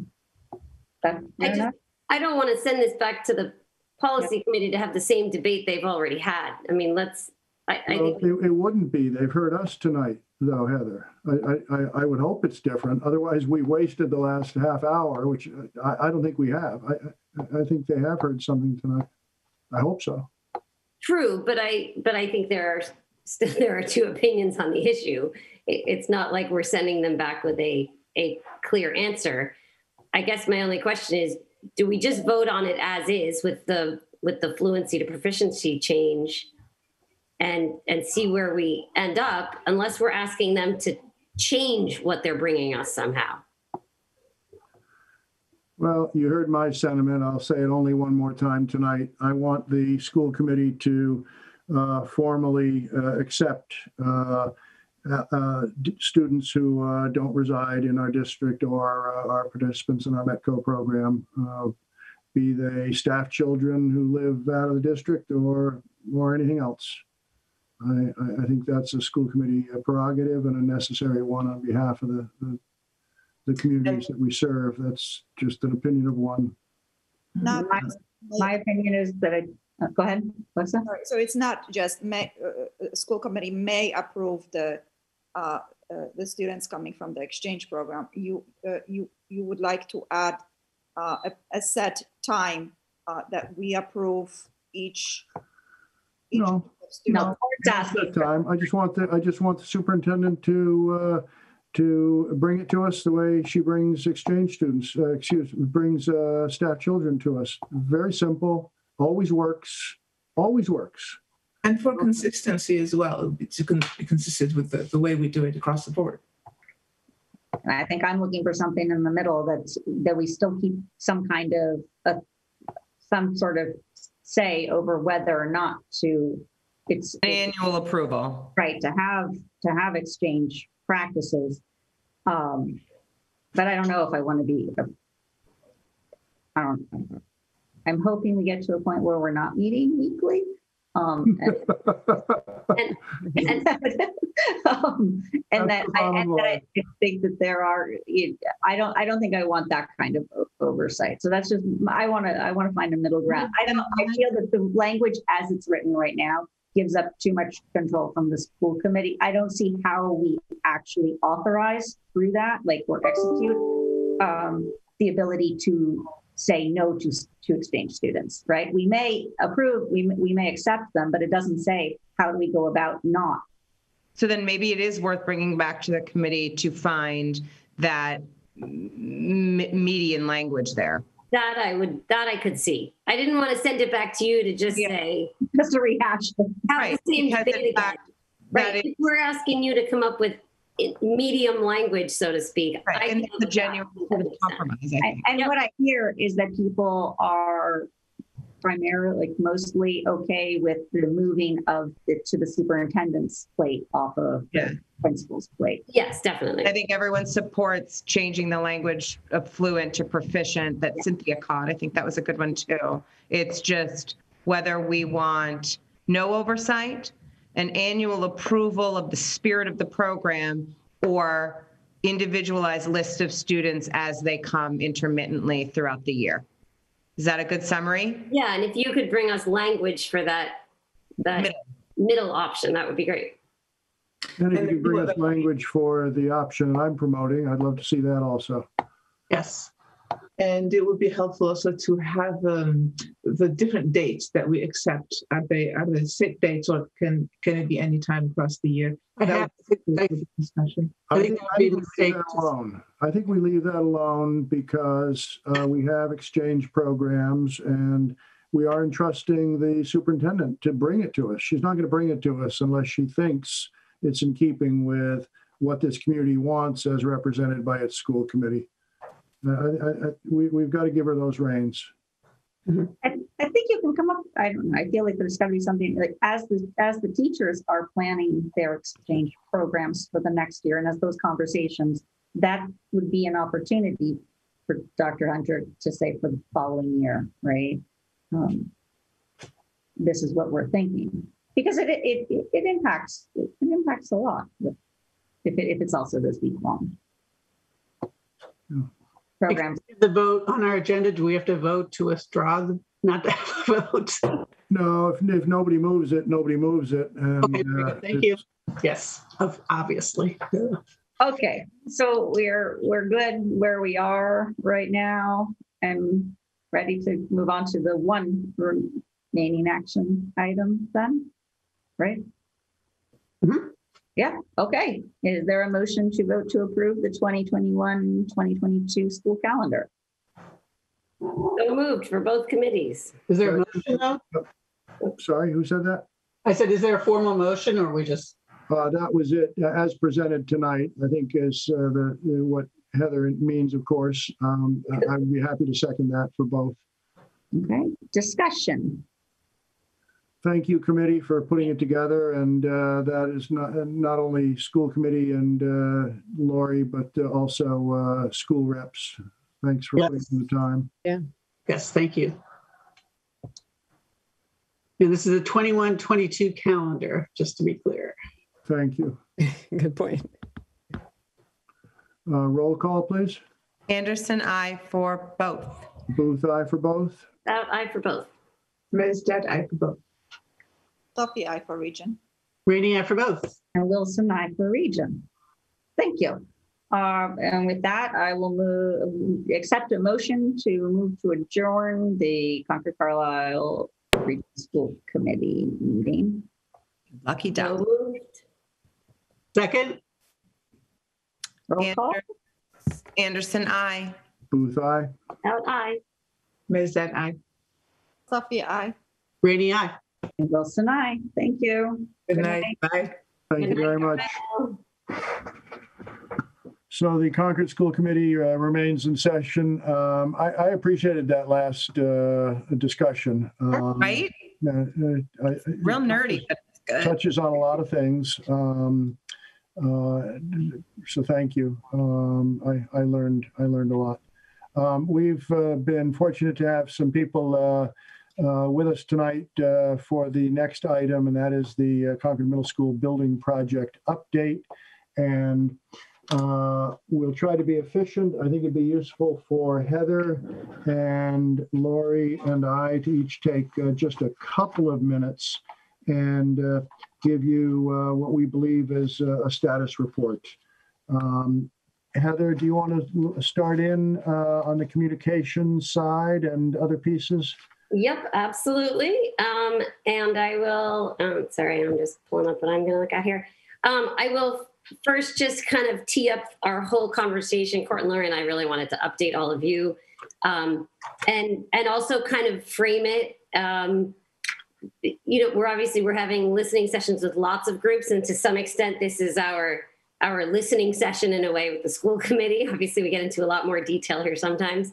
Um, and and somewhat offer a reminder to myself as much as everybody else that we here at the school committee basically court and i want to hear all of your feedback so that we can bring it back to the building committee. We are your representatives to the building committee and so when we speak at the building committee we want to make sure that we are accurate, accurately res- representing you all of us as a group. Um, we obviously can't make any decisions here because decisions aren't up to the school committee. So we'd really just love to kind of collect your opinions so that we can bring them back and, and represent them well. Um, so we figured we, what? Let me- Thank you so much for that, and I know you're going to continue, but I wonder, just as a courtesy, uh, we've been living on Zoom, we used to invite people to the table. Uh, And I wonder, with your permission, uh, if we could invite uh, uh, representatives from uh, Hill and, uh, and from SMMA to turn on their cameras and uh, uh, quote unquote, come to the table uh, with us if they care to. Very good point. Thank you, Court. Thank you. So Forgive me for the interruption. Thank you. no, no, that's perfect. I'm glad you, I'm glad you mentioned it. Welcome, Peter and Phil and Kristen. We're so thankful to have you here. Because as Court and Lori and I discussed, we could sit here and give some updates and then everybody would ask us questions and we wouldn't be able to answer them all. So we're really glad that you're here to help us answer all the questions.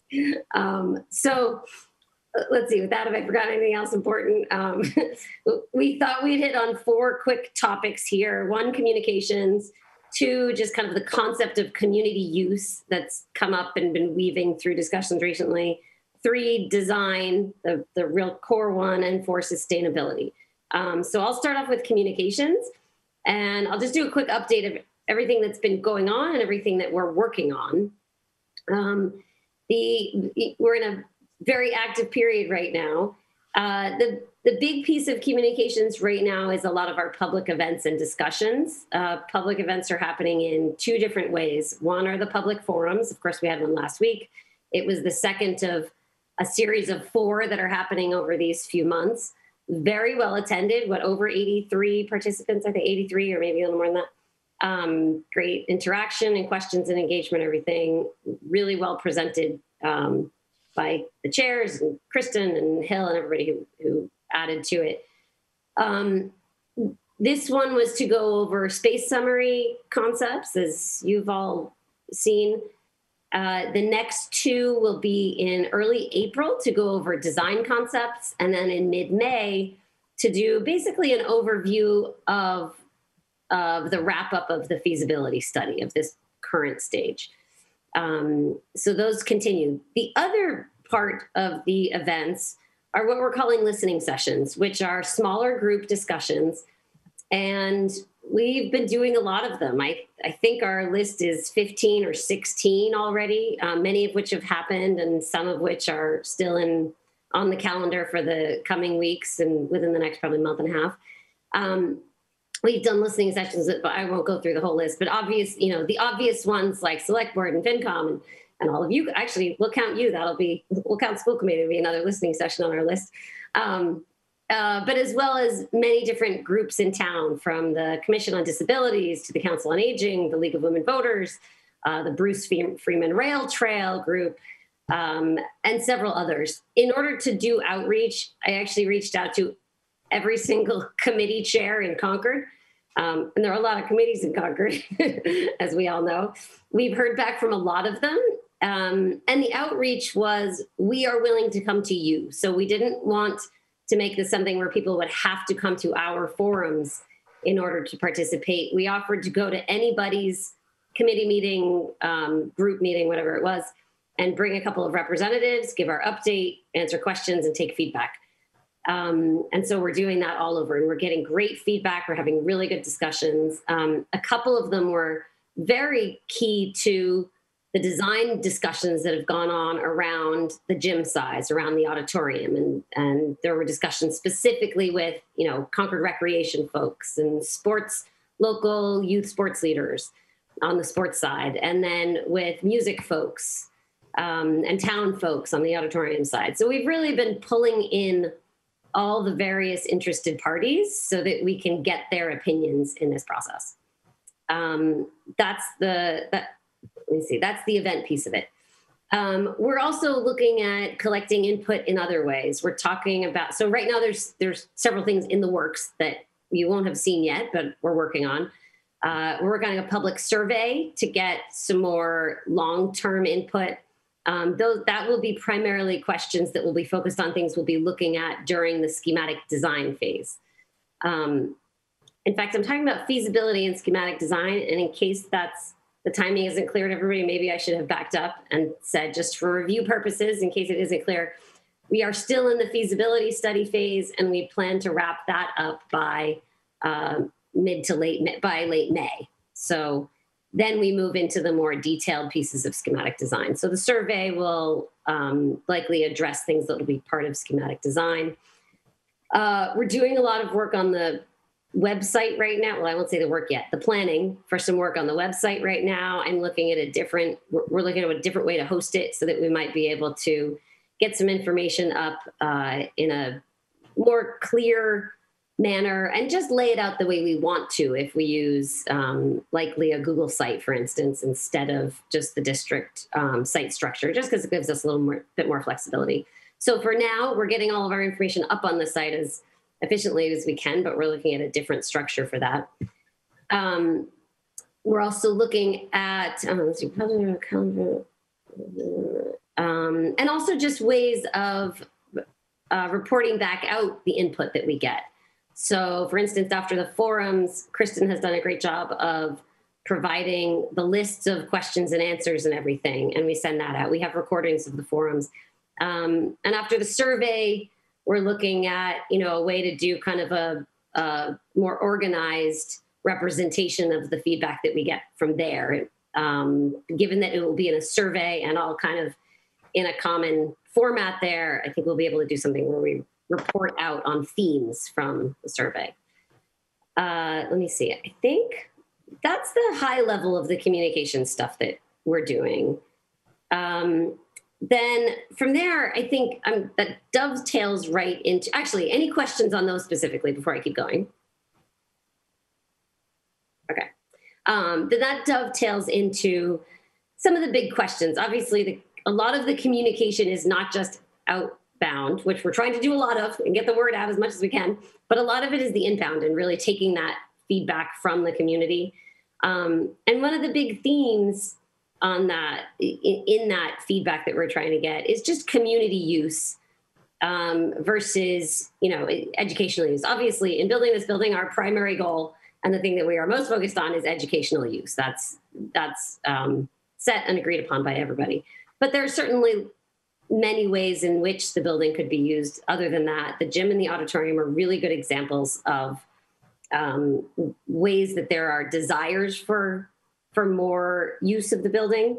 Um, and that becomes a really big question. And Court will get into more of the details of those specific discussions. But it is kind of a big picture question that we've debated back and forth around community use and budget, really. You know, we've we've set the building committee has set a range of 80 to 100 million as our target budget. Um, we have not pinpointed any specific number yet, but we are we would like to stay within that range and trying to come up with a plan that will stay within our, that range.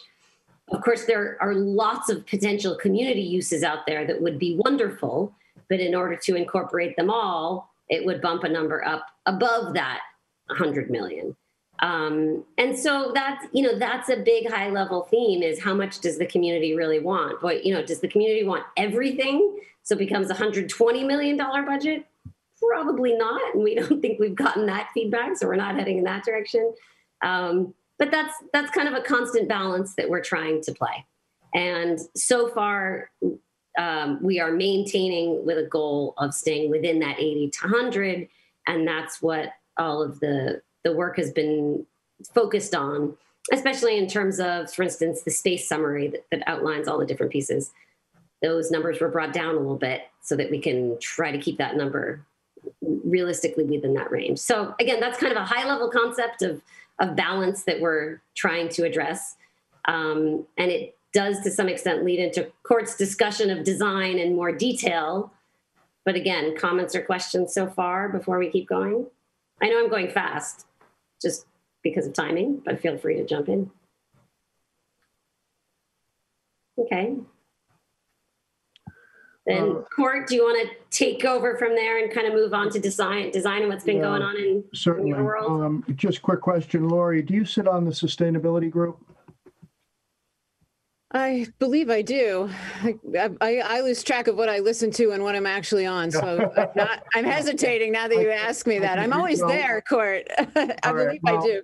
And we've, and we've got uh, Kristen and Peter in the room and. and Yeah, others. I definitely have the notes with me and I Sure, can talk on what, what happened last week. Um, So uh, I, I'm going to tonight represent the design subcommittee, uh, part of the uh, school building committee. And uh, we did uh, bring our recommendation phase uh, for this stage to a close last week. And we're going to bring forward to the full building committee uh, on Thursday morning, 7:30, uh, the, the following, uh, that we are going to send forward the, uh, what we call uh, portions of the space summary, effectively uh, the design at the level of detail we have it now, such that, uh, one, we uh, surround everything uh, in our decisions with the endorsement of one, the team concept and the sizing and spacing required for a full team concept. Uh, two, uh, a team concept that uh, has no teachers uh, crossing lines into another team, none of the core teachers. Um, and this comes at uh, some some cost in, in space and finance um, to have these uh, very intact teams and very intact spaces. Um, and there was a lot of debate about uh, whether that was uh, uh, the right way to go, whether it was necessary. Some people thought that uh, budget was a consideration there. Others said not so important. Focus on the ed plan, leave the money for later. Um, the specifics, uh, uh, the group recommended that the uh, current sizing of 7,000 net square feet go forward with the full recognition that this is not satisfactory for uh, many people in town who want uh, robust community use uh, after hours. Um, so that's a conversation that continues at the school building committee level. Similarly, uh, with our vote to support the current 270 seat, or shall I say, one grade class, uh, one grade auditorium, uh, there uh, are sentiments in town that say uh, this should be a performing space for larger numbers for both school and non-school. Uh, I would note that in the very beginning, the discussion was, will this be the auditorium that accommodates town meeting? And that got dropped out rather rather quickly in, in the process. Uh, Third, uh, in looking for uh, some kind of uh, efficiencies, we debated pretty rigorously uh, whether there should be an alt PE room or a multi-purpose room, a, a room that wouldn't be uh, necessarily scheduled, but would be available for all kinds of uh, critical uses to include, but not limited to OT and PT and additional uh, gymnasium space. That was moved forward. Um, also, a 1,600 net square foot room. Um, why was it debated? Because uh, it was one that uh, uh, didn't come across as uh, as integral to the education plan as some of the other items in the estimation of the subcommittee members, some of the subcommittee members. Next one was uh, uh, the media center to uh, uh, be a 3,400 net square foot media center. And that was uh, the only one that went forward without a, uh unanimous vote. But that one went forward with most of the subcommittee endorsing it. And the next one was a makerspace. Um, this one was again debated because the way in which it was going to be used uh, was unclear to some, and uh, it was a, a non-scheduled uh, space, uh, which uh, suggested to some that it should be debated and considered. Does it stand alone? Does it uh, be part of the media center? Or I think it's right now probably going to be adjacent to the media center. I'm sure Kristen knows where that might be uh, tentatively located now. Uh, and after those specific recommendations, we voted to simply send everything else in the space summary forward to the uh, full building committee. Uh, and I would note that that didn't include any deliberation of the non student facing spaces in the building, which is uh, not a not a small portion of the building is devoted to all the necessary adult activities that support uh, that support students. Um, and I think that's as quick as I can make it. That's the essence of it, I think. Laurie, you were there. What do you think? That- Yeah, that was, that was, you covered everything in a really nice succinct way. It was good. Um, Can I and, and, and, and I would note uh, the, the work that follows is going to be even more difficult than ours, and ours was not easy. It was not easy. Can I just Yeah. clarify, well, myself, but mostly for others, you said without deliberation of the non-student facing areas. That's probably without further deliberation, right? I mean, those have been certainly deliberated and looked at in detail already. No, I, I beg to differ. I'd say uh, uh, we various various uh, ideas get floated. Um, we now have two buildings with 151,000 square feet. A lot of it duplicated, a little bit of it unused. Um, the new building, as designed today, is 143,000 square feet, um, with what I think everybody on the, the subcommittee realizes is a lot of flexibility um, a lot of flexibility, um, and that that's what that's what the debate centered around was. Do we need that degree of flexibility? Can we afford that degree of flexibility? Is that the right uh, thing to send forward? And indeed, at the at the end of the day, we did send it forward. But no, we didn't debate uh, how big or small a school psychologist's office was, or uh, we didn't even get into the teacher workroom very, uh, to any any any degree. Um, and uh, you know there were another another 30 rooms or so that we left alone because uh, certain adults need four walls and a door. Um, and so we didn't we didn't get into that. But what it. yielded what it yielded was ultimately uh, at the end of the day the current 143,000 square feet which is not set in stone but uh, it's the the number we move forward. What we didn't debate is what uh, we might call massing, which is how do you how do you put that together on the property? And so I think that brings up one other point, uh, which uh, Lori and, and I uh, really want to make clear is one of our challenges uh, with uh, debates uh, like our wants for a larger gym or auditorium is that we're at the limit of the impermeable covering of the surface right now. We're next to a groundwater conservancy district. We're limited to 15% uh, footprint, and we're there. And uh, we would be uh, foolish to bet on a variance on that. So instead, we've got to be creative on the design side. So that's where uh, uh, Kristen's team is going to have to come in. Sustainability, the little bit, uh, Lori can use this as a segue. Um, Right now, what we hear from the Sustainability Subcommittee is they're fully uh, uh, on board with Article 51, the sustainability goals for the town of Concord. But in this building, it's going to translate as this will be an all-electric, net zero ready school. Not a net zero school, but a net zero ready school, which, and I know very little about this, uh, you know, Peter and Kristen can help us here, but uh, we think what that means, in addition to all electric, is it's going to be photo- photovoltaic ready on the roof. It'll structurally be able to accommodate at some future date, and uh, a parking lot could have a solar cover, uh, if I'm correct. But I think Laurie and uh, others can speak more to the sustainability piece of this, with a current estimate of 1% of the total project cost, which right now is is approaching 100 million. But again, those are rough numbers, early stage.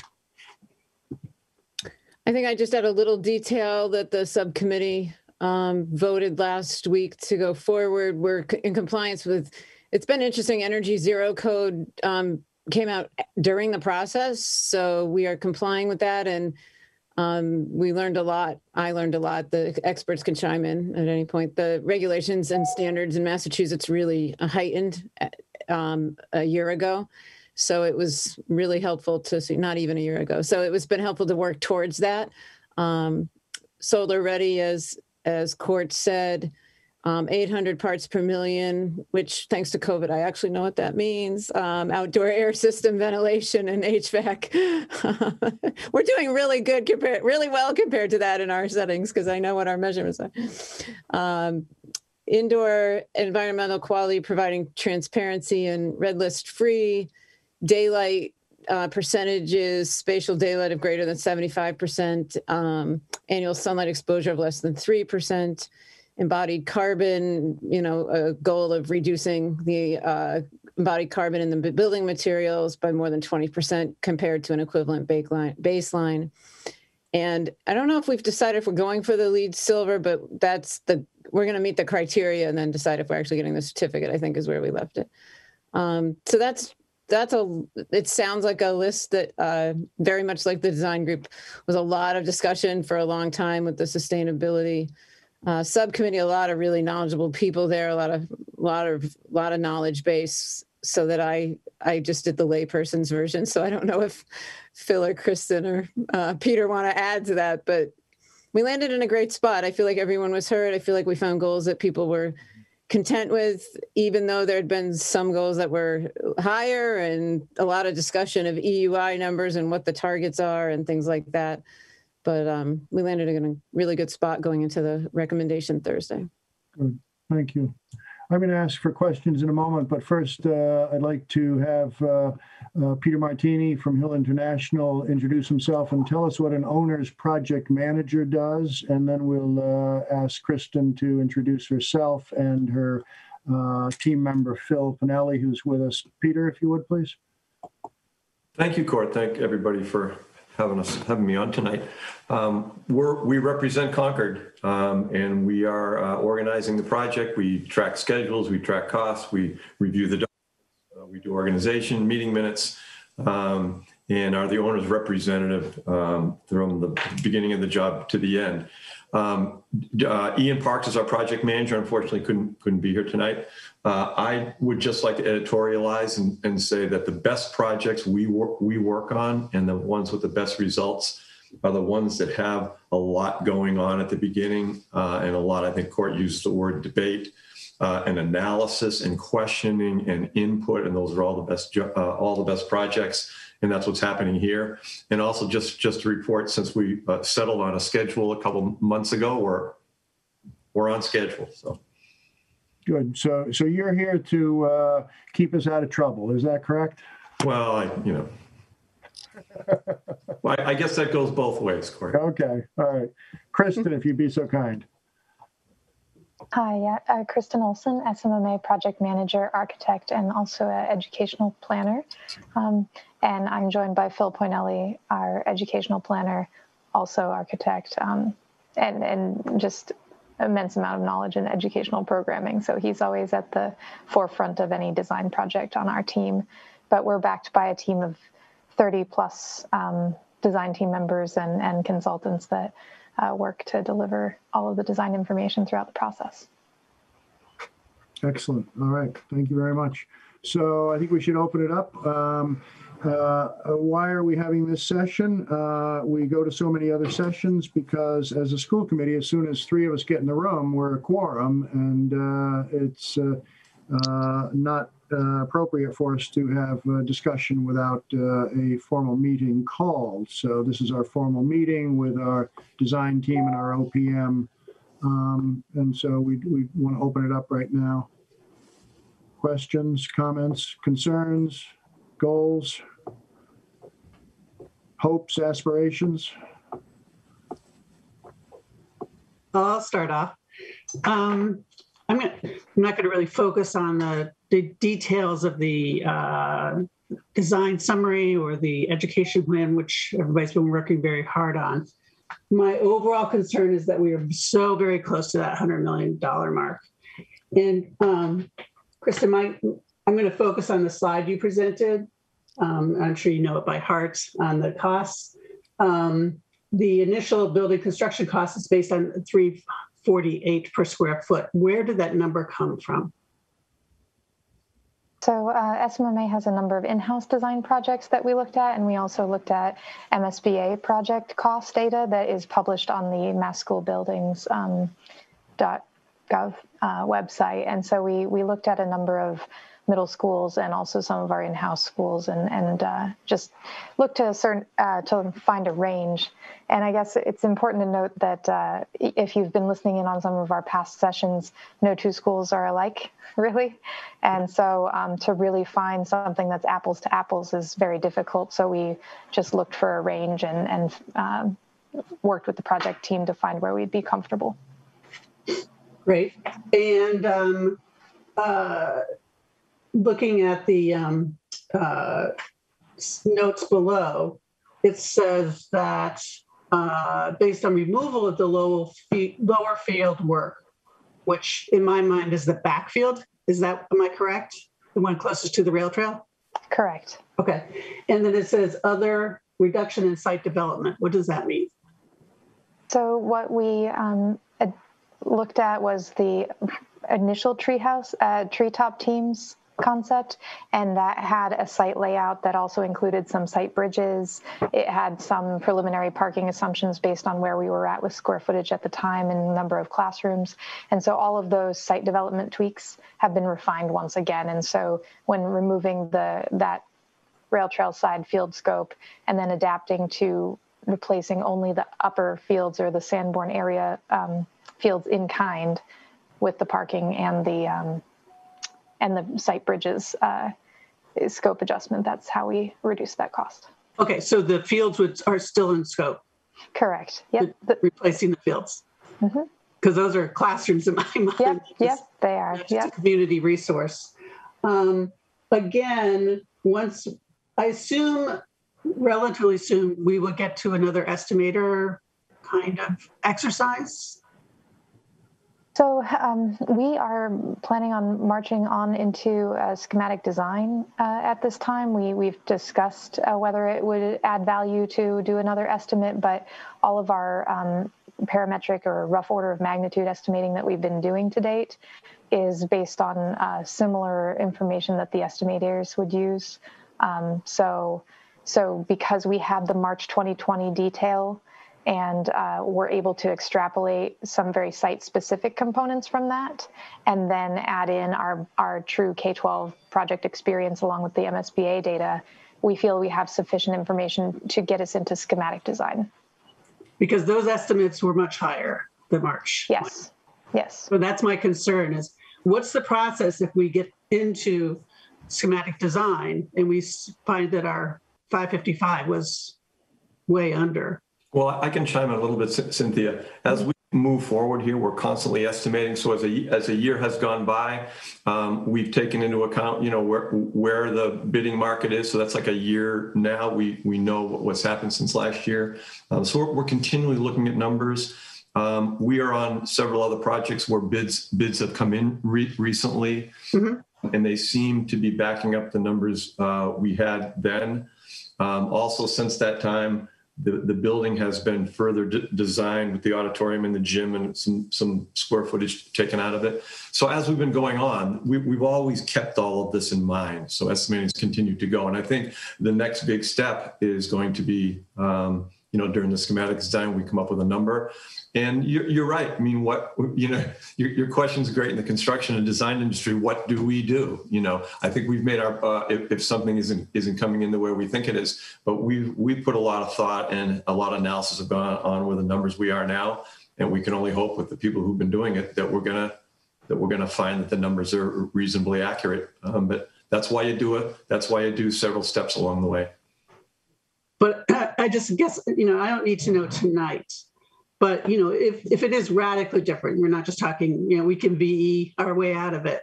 Um, because if you get into really deep VE, that's just not good for the project, in my opinion. And I think everybody would agree. Um, you know, I would just like to know what the, the tipping point is and how we might then look at further square foot, footage reductions. Um, because Uh, Square footage reductions are our last resort. We typically can find um, some cost savings by re- re-reviewing materials and making adjustments to something that's also durable and also, uh, you know, meeting the requirements, but maybe reducing tile height and things. So, so a lot of times we can get there on on value management, but um, it- but we do have project experience where you might uh, look to square footage to make some, find some more efficiencies. I mean, one example is we re, we cut out tile at the high school, and Dr. Hunter could tell you how many walls have been have to be repaired because we don't have tile at the high school. I mean, it's as you know, it's really um, much more durable and um, it's easier to maintain for sure. The only one I wish you'd done something different is the boys' locker room. Otherwise, we're managing it. Um, I I hear your point for sure. Just just one other thing, I, Dr. Hunter called out the Kennedy School in Natick, and I just Hmm. would remind us that yes, it does have a lot of bells and whistles, but it also got $36 million in MSBA re- reimbursement, which makes that um, more attractive uh, when you're trying to sell that to the community to add some non-reimbursable uh, elements to the project. So I think we have to be very mindful that, you know, that ended up being a $70 million cost to Natick. Um, Correct. We're, we're at 100 for the town of Concord. So Yeah, correct. I, I, I just, I think we have to be um, ready to pull back if we need to and not, um, you know, escalate this any, anywhere above 100 million. It's already, it's, it's quite a burden to the town taxpayers. So that's all. Thank you, Cynthia.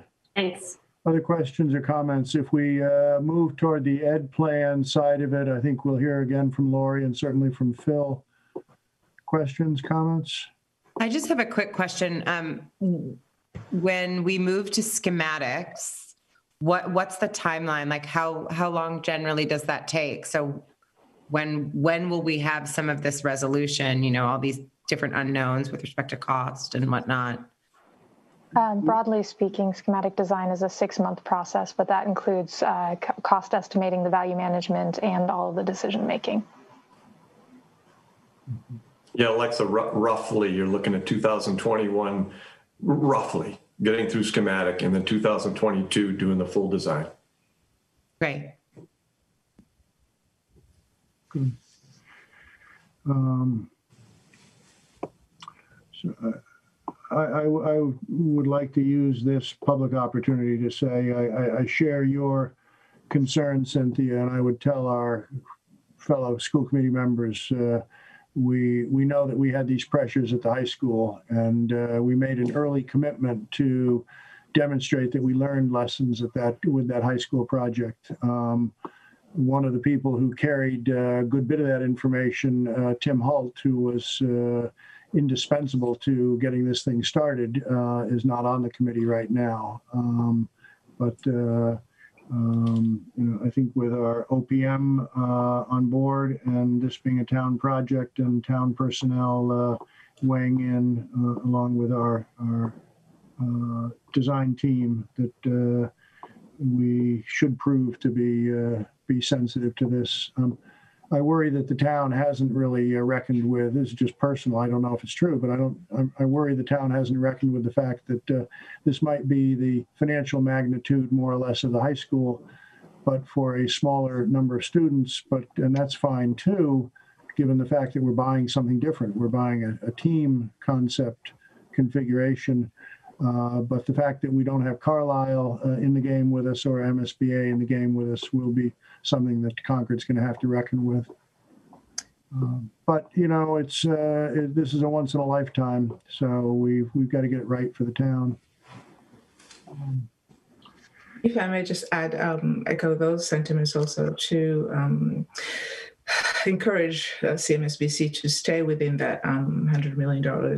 I'm thinking about it, um, looking at it from the perspective of um, the need that there is in town, that um, we need to be sensitive to the current economic uh, situation of families. Uh, there's, you know, I, am involved with a lot of the non-profit organizations that in, in town, in Concord and Carlisle, and there is a need. Uh, yes, we are raising, uh, we're still raising our uh, taxes as we did before um, COVID, but a lot of families are struggling while they are paying their taxes. Uh, they are having trouble you know putting food on the table and paying other bills. I so i do want to be sensitive to that.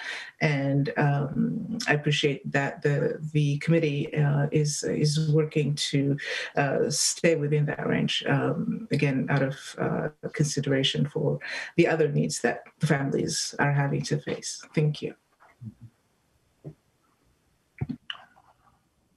Other questions? Um, I have a question for you, Kristen. Um, uh, what's the likelihood that the uh, the and I know this is just a guess on your part, but what's the likelihood that the uh, the siting of the building and the way it's amassed is going to remain the same? Uh, for example, I know that uh, just one example if the department, if the fire department had their choice, they'd have access to the back of the building, and they're not going to have access to the back of the building. Now that's just, you know, I'm picking that at random, but uh, uh, I, I, don't know what the different factors are that might, and maybe you don't either, that might uh, necessitate uh, further changes away from treetops. Um, what's your sense about that, and what's your experience about that kind of question with a design at this stage of the game? Um, so I think that we did a lot of good work uh, understanding what uh, desirable adjacencies there were and and organizationally how um, the school reacted to the four concepts that were presented last year. And so the design team does not plan on starting over with that, but learning from that and continuing. So they did, uh, they will be using treetop teams as a basis to see how that can evolve and be transformed with the new program, just because, again, we got the best feedback on that one and it was received well by the DSC and, and the school department at the time. Um, introducing an auditorium to the scope, which wasn't part of it before, is a very different component. So that will uh, create some shifts. Um, I think that you know the the team continues to aspire to uh, make the floor plan more compact and reduce perimeter wall area and things like that because we know your energy goals and those kind of things have an effect both on cost and energy. So I think that schematic design will continue to refine and, and look at all of those pieces and we look forward to bringing them. Good, thank you. That's helpful. Actually, Court, I should add, um, we we find the fire department. The fire department is always so critical to these pieces in this conversation that um, before we even started programming, we had a touch base with them to make sure that the general siting would be acceptable. Right. Yes, yeah, absolutely. I know you did. Thank you, but thank you for pointing that out. Um, any questions for uh, Phil or uh, Kristen or Lori about uh, teams, uh, about education plan and how it relates to the building or anything else? I'm just teasing this out of folks. This is our chance um, to weigh in at this stage. I, I did have a question about the um, alternate PE space. Mm-hmm. And I'm a little confused. It's sort of migrated a bit. um, what's the uh, intention and um, I don't really understand the concept of a the students are leaving their class and going someplace else. Oh, I think, yeah, I think we just need to communicate. I did talk on this at the design meeting last week. I think probably in the best way I had so far. Um, it does, it will serve as a space that the gym teachers can break off and have kids um, have alternate activities to PE. Um, they will still need to be supervised. That's no question. They may not all go down. They may not go down there by themselves. They may have a, you know, a group of them go down and gym is often two teachers in the big gym. So there's some flexibility there as well, but it will give us more, more options for PE than just being in the gym. In addition, um, it's a critical space. We did reduce the OTPT space. So now OTPT will need to be part of that as well as allow for um, the special education classrooms that are our more intensive rooms, um, movement space for them to have breaks and also any incentives, those kinds of, of things to spread out. So it's a it's a flex space um, by nature, but it also allows for a lot of these spaces um, to be able to overflow in there and you know have alternate activities that they wouldn't have any other um, you know any other environment that would be appropriate for them. I think that's probably one of the bigger key pieces. And additionally, after school um, extracurriculars in our in, you know sports programs in the afternoon. Um, basketball is very highly um, attended and participated at the middle school. So if we wanted to run any other kind of physical oriented space, that would be a perfect spot for a yoga class and some extracurriculars like that as well. So um, I hope that helps, Cynthia. Yeah, I mean, the only thing I would say is that working in a school, uh, from uh, the PE programs much prefer to be outside if possible, Mm-hmm. and that is a really nice site to be outside. Absolutely. Um, and I would encourage, strongly encourage you to to focus on uh, outside programs and opportunities, especially as we've seen in COVID. That I, I could just see at my school the kids are so happy to be outside as much as they can possibly be. So P is one of those opportunities that um, they can get outside. And again, it's we're lucky to have such a nice site. I mean, it's one of the the best with the rail trail behind there, and it's just it's a really good resource. So Yeah, great points. Yeah, absolutely. And you know, Cynthia, that reminds me. I mean, there's so many themes that have come in on public feedback, but one of the big ones in multiple instances has been please leverage the outdoors here and not just for gym, you know, classroom space, access to outdoors, all of that. And that's something that I think everybody on the building committee has weighed in on and said, yes, we, we really do want to make that a priority. Um, you know, it's a, it's a beautiful site and we want to take advantage of that. We want to give outdoor access to kids um, and leverage it in whatever ways we can. So that is something that has definitely been a topic at building committee meetings and at discussions, which is great. Um, you know what? Another one, just it, these are all making me things think of things that I could have said. Oh, and this and this and this. Um, there, there's so much to add. One other thing I do think I want to throw in, just again in terms of all the feedback that's coming in, um, we really are hearing it. We're certainly hearing feedback similar to what several of you have said about let's make sure this doesn't, you know, the price tag doesn't explode beyond where we want it to be.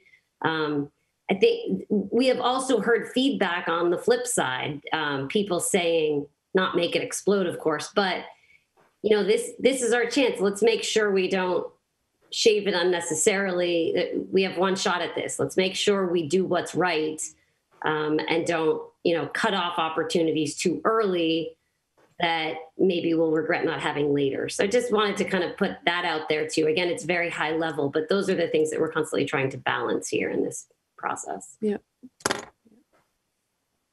I want to, I want to bring it to uh, school budgets uh, for, for a minute or two. Uh, I think this will go your way, Laurie.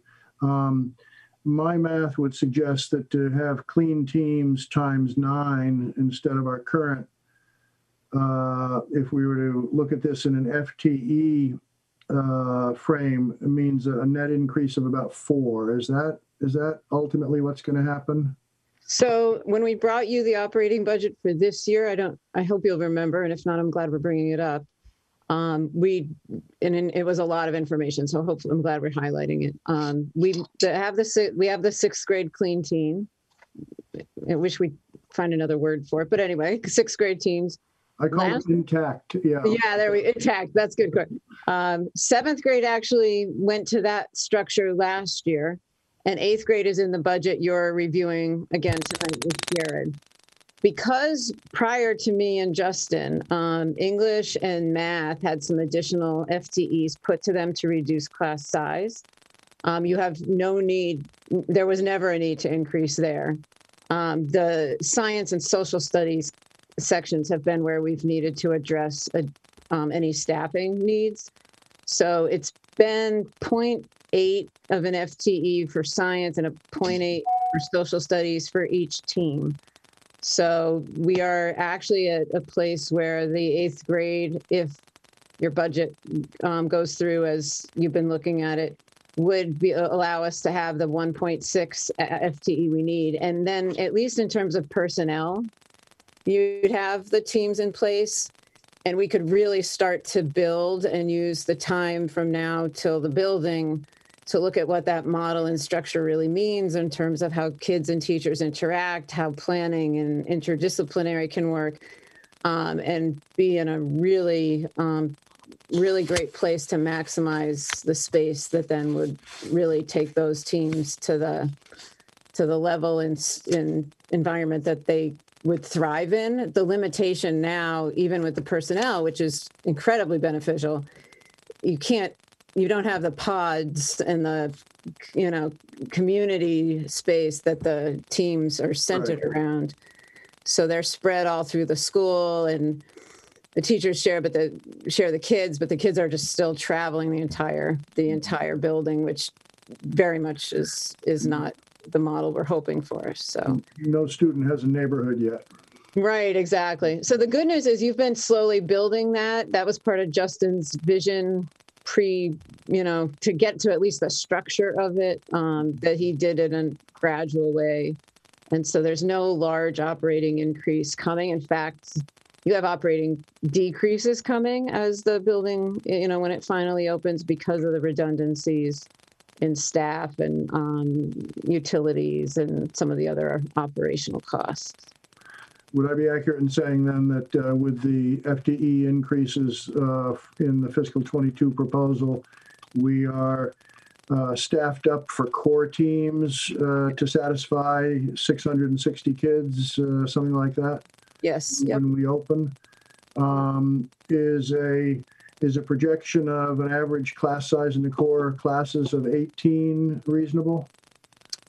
Uh, I, it's the goal and we'll have the staff to do it. Uh, we get a little, it's a little trickier in the Sanborn building just because of space and schedules, um, than it would be in what we're proposing. So that would be, that would be the goal and we'll have the staff to make that doable. Um, I wouldn't be able to say every section, it'll be perfect, but yes. But that really points to, you know, dramatic changes in the life of a middle schooler. Yeah. From, uh, from now to then, because we've got uh, uh, more staff, smaller groups. Uh, the groups are organized very differently, and they have physical space that uh, uh, follows the the function that we want. Yes, Mm, correct. Yeah. Okay. Thank Yeah. you. Thank you. Um, that's all I've got. Anybody else? Phil, we want to thank you. Kristen, certainly thank you. Peter, thank you. Uh, you've given up another night for the Children of Concord. Thank you. Um, Much appreciated. So we do, we do appreciate it. So I think we'll bring this part to a close and uh, let you good folks go home, um, Zoom home. Will do, we'll do, Court. At you. least that's been a, a convenience. Easy commute. Have a safe trip. Yeah. Take care. Take care. Bye-bye. Thank Good you. night, guys. Thank Good night. Thank you, everybody. Um, and uh, uh, Jared, we're going to turn to you for the uh, CPS budget, uh, tonight's uh, piece of that.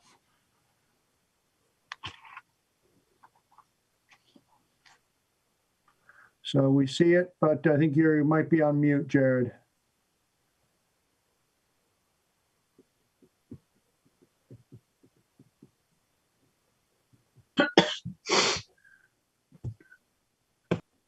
Sorry about that. Jeez. No problem, no problem. Um, Thank you. So uh, like the high school, uh, good news with the Concord uh, budget. The, the FinCom uh, increased their guideline. So current, the current superintendent's uh, budget is $117,337 over the guideline. Um, we and we have some suggestions on how to get to the guideline. And So I just want to note, I, I, I just want to note that the implication in that statement is that uh, uh, w- without even waiting for the school committee, you're assuming we want to see this, and I want to thank you for that. Um, It speaks to what Heather said earlier about the relationship that we and the FinCom are trying to strike as best we can, notwithstanding the fact that our eye is on uh, uh, the service to kids first. Um, But thank you, thank you for getting this ready. Um, so uh, we have some recommendations on how to potentially get to the guideline. Um, we currently have a, a projected vacancy uh, at the middle school in Spanish uh, due to a retirement. We budgeted that at seventy-five thousand. Um, in the last 48 hours, um, we spoke to the principal at the uh, at the middle school, and we think, based on the fifth grade numbers coming in for Spanish, that he can do um, this with a 0.6. Therefore, there would be a $30,000 savings. So if we applied that $30,000 savings uh, to um, our other suggestion, which is very similar to um, to the high school, I I do anticipate to uh, have a max circuit breaker carryover for FY uh, 21 at the end of FY 21. We um, hopefully still, should still be able to do some prepaying. And again, the way that we do budget, we do have um, some contingency in there uh, based on um, uh, what we call potential out of district placements. And we feel that we can reduce the non-public tuition line by 87,000 uh, and get to the guideline and still um, have a comfortable contingency if uh, something should happen uh, unbudgeted. Uh, Can I, can I speak to this one? Uh, Lori, I imagine this is for you. Is the, uh, is the point six probably a one-year phenomena? And uh, if so, do we make our lives difficult by hiring a, a point six when we could hire a more capable 1.0 and anticipate uh, needs a year out? Um, that's a great question. Uh, We've actually been really pleased with, sometimes surprisingly pleased with the uh, level of caliber of people looking for part time. Um, so I think it's a valid question. It was we put the you know put the posting out and see what we have for a response. I guess it's no surprise to you in a zero based budgeting environment, uh, the administrators don't really budget for you know sections they don't have because we don't let them do that. So it's a good question and one, you know, are we in any way penny wise and pound foolish as we look at who's available is is a is a is a thoughtful thought for sure. What's the Spanish FTE at the present time? Do you have it handy, Jared? I do. Uh, it is um, 10 seconds. I'll get that. Take your It's time. been quite high. We've been running lower numbers in French than we've been rolling. I, I wouldn't want to say what they were, but definitely we've seen Spanish draw most of the many, many of the kids. So I'm curious that, you know, maybe we're getting a little shift in that coming out of the fifth grade. I actually just, I'm sorry. I just have it All right, broken up. you, on you've got, you've got, uh, you got a thousand lines of detail there. Maybe you can come back to us with that. Uh, I don't think it's going to change anything, but I'd, I'd simply like to know. Yeah, sure. Thank you. Other questions, comments? About the CPS budget, and that would include last week's, uh, uh, material as well. So I would just have similar comments about the hardware. Um, and in particular, since we purchased to go to one-to-one at our K-5, how will we then eventually reallocate those? Are we, you know, I just would like to see. Yes. that. And, you know, the same thing, when are we going to have new leases uh, and so forth?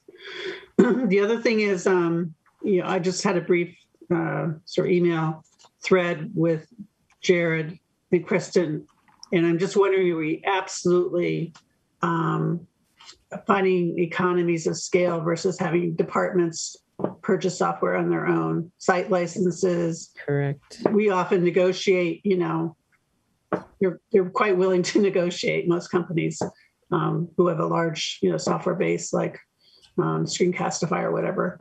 Um, and similar to Alexa, I, you know, I wonder if we just really focus on trying to get kids off of screens as much as possible. Uh, So, uh, I, well, and I'll I'll tip my hat here a little to what's coming to you later in the week and Tuesday. Um, as we bring the K five kids back, we're not going to send the laptops home anymore. We agree with that completely. Um, so we're gonna we're all working in that same direction. And you're right about scale and cost, and that was one of the big drivers to centralize it. So we don't have you know, if you do all these smaller subscriptions, you do pay more, no question. Yes. So you're right on all counts. Absolutely. Yeah. Dr. Hunter, thank you. Just to add on that really quickly, um, we're going to do most of our bidding in in probably June, July, and the most of these quotes are only good for 30 days. Um, and just like the zero-based uh, zero-based budget process, we are going to continue to get better on this and all the software. So right now, we just took the list from everyone. They were vetted, but they're going to continue to be vetted uh, by um, by Kristen and her staff. And the ones that we will bidding uh, bidding out will probably be less than the 113 or so that I brought you. Um, yeah. So we'll keep getting better on that. That's good. I think we've got to build a plan to uh, really, really make it stick this time. Uh, you know, Lori's been here four years. Jared, you uh, about the same. Um, we, we've had these efforts come and go over the decades in this district, um, and uh, if, if, if you can build it to last, this this system where the the needs get voiced from the buildings and the classes, but then the purchasing happens in an aggregated way, then then then we're looking pretty smart.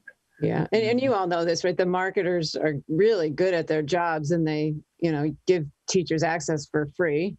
Right. Oh, yes. Till it's till they have something they can't do unless it's paid for. And, you know, we just a lot like we've done with all the other purchasing, we've now shifted the messaging of don't assume you're going to get to the paid subscription anymore. And I think when it was really at the department and building level, there was just a lot that would naturally morph. And I think, you know, a, a new message and a new process, it, it's going to get better for sure. And, you know, you can, you know, sometimes it'll escalate 100, you know, 100%. And we'll say, you know what, we're going to go find something else. And there's so many products out there right now. That Which is also part of why that list is so huge because there's so much out there. Yeah. But, but the one thing I know you understand is that you, you have to be strategic because you often need to provide PD. And uh, so to jump around a lot uh, leaves a person who's invested in something and then you switch them off. But for the most part, it does work.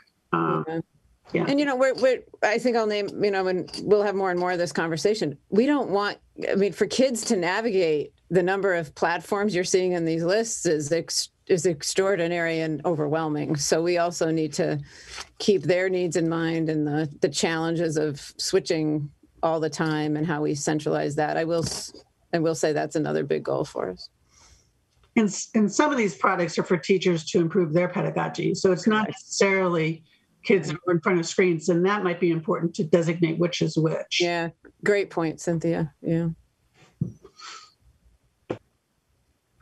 And the consumerism idea for the teachers that applies for the kids too. So we talk often about the, the distraction that uh, the screens and the internet cause, but uh, another major concern is the the consumerism. Right, the, the, they are offered all these freebies, and then they get they become addicted to buying and having these things that often don't have a lot of value really. Uh, so that's another concern. And thank you for think, thinking about this. Any other comments? Jared, thank you. Thank you very much. Lori, thank you. No, thank Um, you. We've covered a lot tonight. Um, When we move to uh, go to executive session for the Concord Public Schools School Committee, uh, I will note that uh, the executive session uh, earlier this evening, in fact, did not adjourn, so we'll simply be resuming. But uh, for clarity uh, in the public eye, know that the Concord School Committee will enter into executive session under Purpose 3 of the Open Meeting Law to discuss strategy with respect to collective bargaining and litigation. If an open meeting may have a detrimental effect on the bargaining or litigating position of the public body and not return to open session. Would there be a motion to that effect, please? So moved. Thank you. And a second, please? Second. And uh, those in favor, roll call. Anderson, I. And Booth, aye. Aye.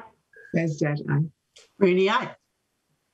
And that does it. And that's de facto our adjournment for tonight because we've just sent ourselves to executive session. So thank you all for joining us. And uh, we are uh, meeting next week. And uh, just to note publicly, uh, we, uh, sorry, uh, friends and colleagues, uh, we expect to meet on March 16th as well, as far as we know. We're getting into the busy patch sooner than we thought we would. Yep. Okay.